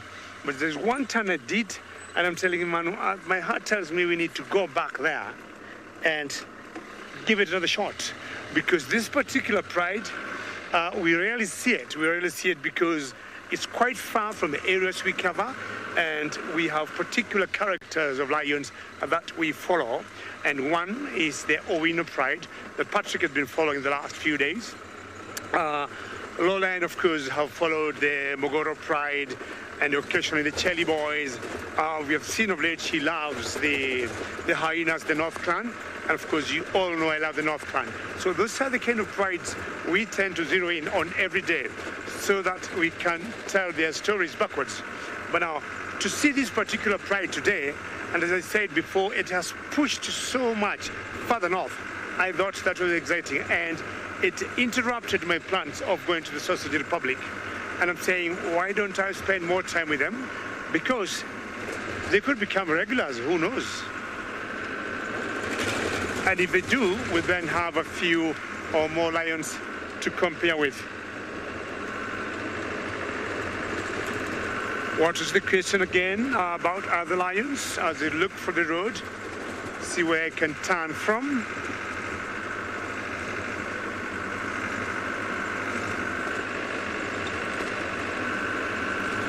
Well, that's a good question. I would say, well, what should happen now? Um, the migration is gone. I'm sure you all know about the wildebeest and the zebras. They are all gone to Tanzania, and they did that uh, towards the end of last year. And basically, they did that for calving, for calving to give birth to the the young ones. And once the young ones are big, they're strong, they're able to come back. That's when again the migration will be here. But what I'm trying to say at the moment, there's a bit of scarcity of food, and it's what we call the green season. And when it's green season, then the lions have only one thing to do. They have to move a lot. They have to cover distances. And currently, they have been depending on very big prey like buffaloes. Buffaloes are not as many like the wildebeest or the zebras. And buffaloes also move. I would say buffaloes also migrate, not like the wildebeest, but they have what you call mini uh, migration. So the lions have to catch up. The lions have to fall with them because they may remain within their territory. So I wouldn't think they moved uh, because of other lions. I would say no. What I would say, that particular pride now, the Salt Lake Pride, we saw there were three males, and Kipuli was one of them. I mean, those are three boys that could push any, you know, they could not be pushed around. So I got a feeling they just moved because of food. All right, I want to go back to where my heart tells me I took one wrong turn. I should have taken the other one. I took a left, I should have taken a right, and of course now it's going to be a left, and who who knows?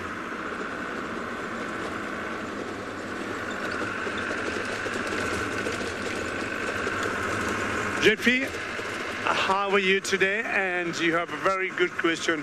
How long would or how far would the Lions go from their cubs? Two reasons, two factors I would say would come in play here. Number one, availability of food. Where are they going to get food? Of course, if it's a long way, they have no choice, they have to go. And I've seen lions going a whole six kilometers away from their cubs. I'm talking about four miles or so, looking food. And of course, another factor be how small, how big are their cubs. Of course, if they're very tiny, they have to be very careful not to go too far because anything would happen to them when they are away.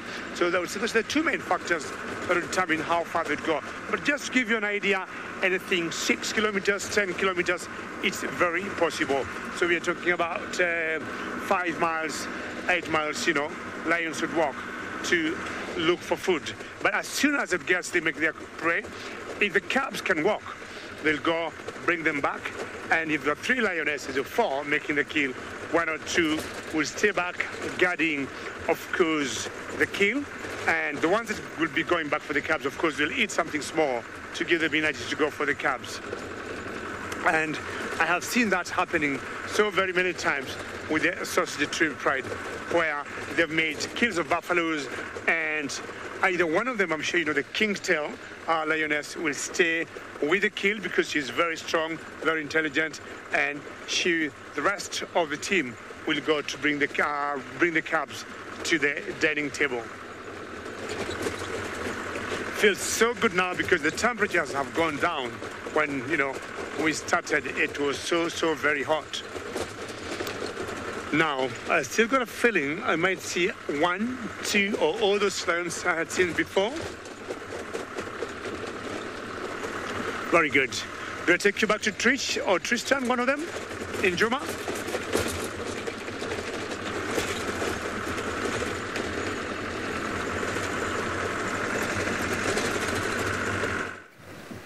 Well, David, I can agree. The temperature has dropped nicely now. It's starting to get to that beautiful kind of time of the day where the light is gold and the temperature is good. And so it's a nice time to actually be out and about. I always enjoy being out at this time of the day. It always feels like things are going to start happening when you kind of at fairly quiet afternoon when it's so warm and then as you get to this kind of time you know that animals are going to start moving around so hopefully we're going to get lucky with something coming out and about. Um, it's been fairly quiet, even from a bird point of view. You know, we've been kind of looking around for birds and bar the odd cisticola here and there and starling and go-away bird. There's been very little else out this afternoon, which is quite strange. I would have thought in nice warm conditions like this we would have seen a few more birds and I was a bit sad that when we got to Buffelshoek Dam that our spoonbills weren't there because there's been two spoonbills that have been hanging around the Buffelshoek Dam quite a bit of late. Um, I really do enjoy the, the spoonbills. They're very, very pretty birds and love the way that they go about hunting and how successful they can be at hunting. But essentially what we're doing now is, still kind of waterhole sort of searching. Um, even though it's cooled off quite a bit, you might find still animals kind of coming down towards water points for that last drink of the day um, from a prey point of view. And then from a predator point of view, this is where they start coming down. So just kind of actively doing little sort of loops around and just checking to see if there's any sign. Craig was saying to me though this morning he was with Sydney and they had a brief view of Thandi, well not brief view, but they followed Thandi for a little bit and um, he was saying that it was really tricky because even when she was walking in the grass, all you could see was just ears. And so, you know, a cat that lies down in the grass at the moment, it's not going to be easy unless you've got a, a track that you can actually trail into a block and try and find her like that. You, it's going to be a bit of a struggle to spot them. Um, so what we're hoping for is because it's also cooled down a little bit, maybe some of them will be up on mounds or you know, potentially just moving around a little bit, which will help us not only from catching a movement point of view out of the corner of your eye, because in this grass, sometimes that's what gives them away, is a bit of movement, but also being in places that are a little bit easier to see. So, you know, termite mounds being raised slightly out the top of the grass certainly helps with being able to spot what's going on. But hopefully we'll get something. We're going to just back at Twin Dams now.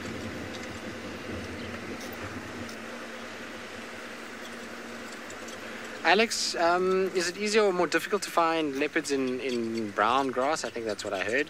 Um, easier. I'll tell you why. Because brown grass is generally associated with winter.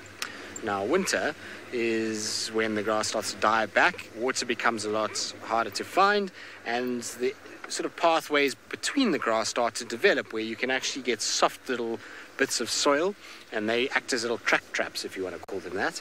Um, and so tracking becomes a lot easier. And, and the leopards themselves, because as that grass dries and becomes more brown, that seed layer on top starts to dissipate, um, and the grass actually becomes almost thinner. So I find in winter it's actually easier. Uh, generally, the leopard stands taller than what the grass is, whereas in summer, when it's the grass has grown to its sort of maximum height and it's seeding, it becomes very dense and thick.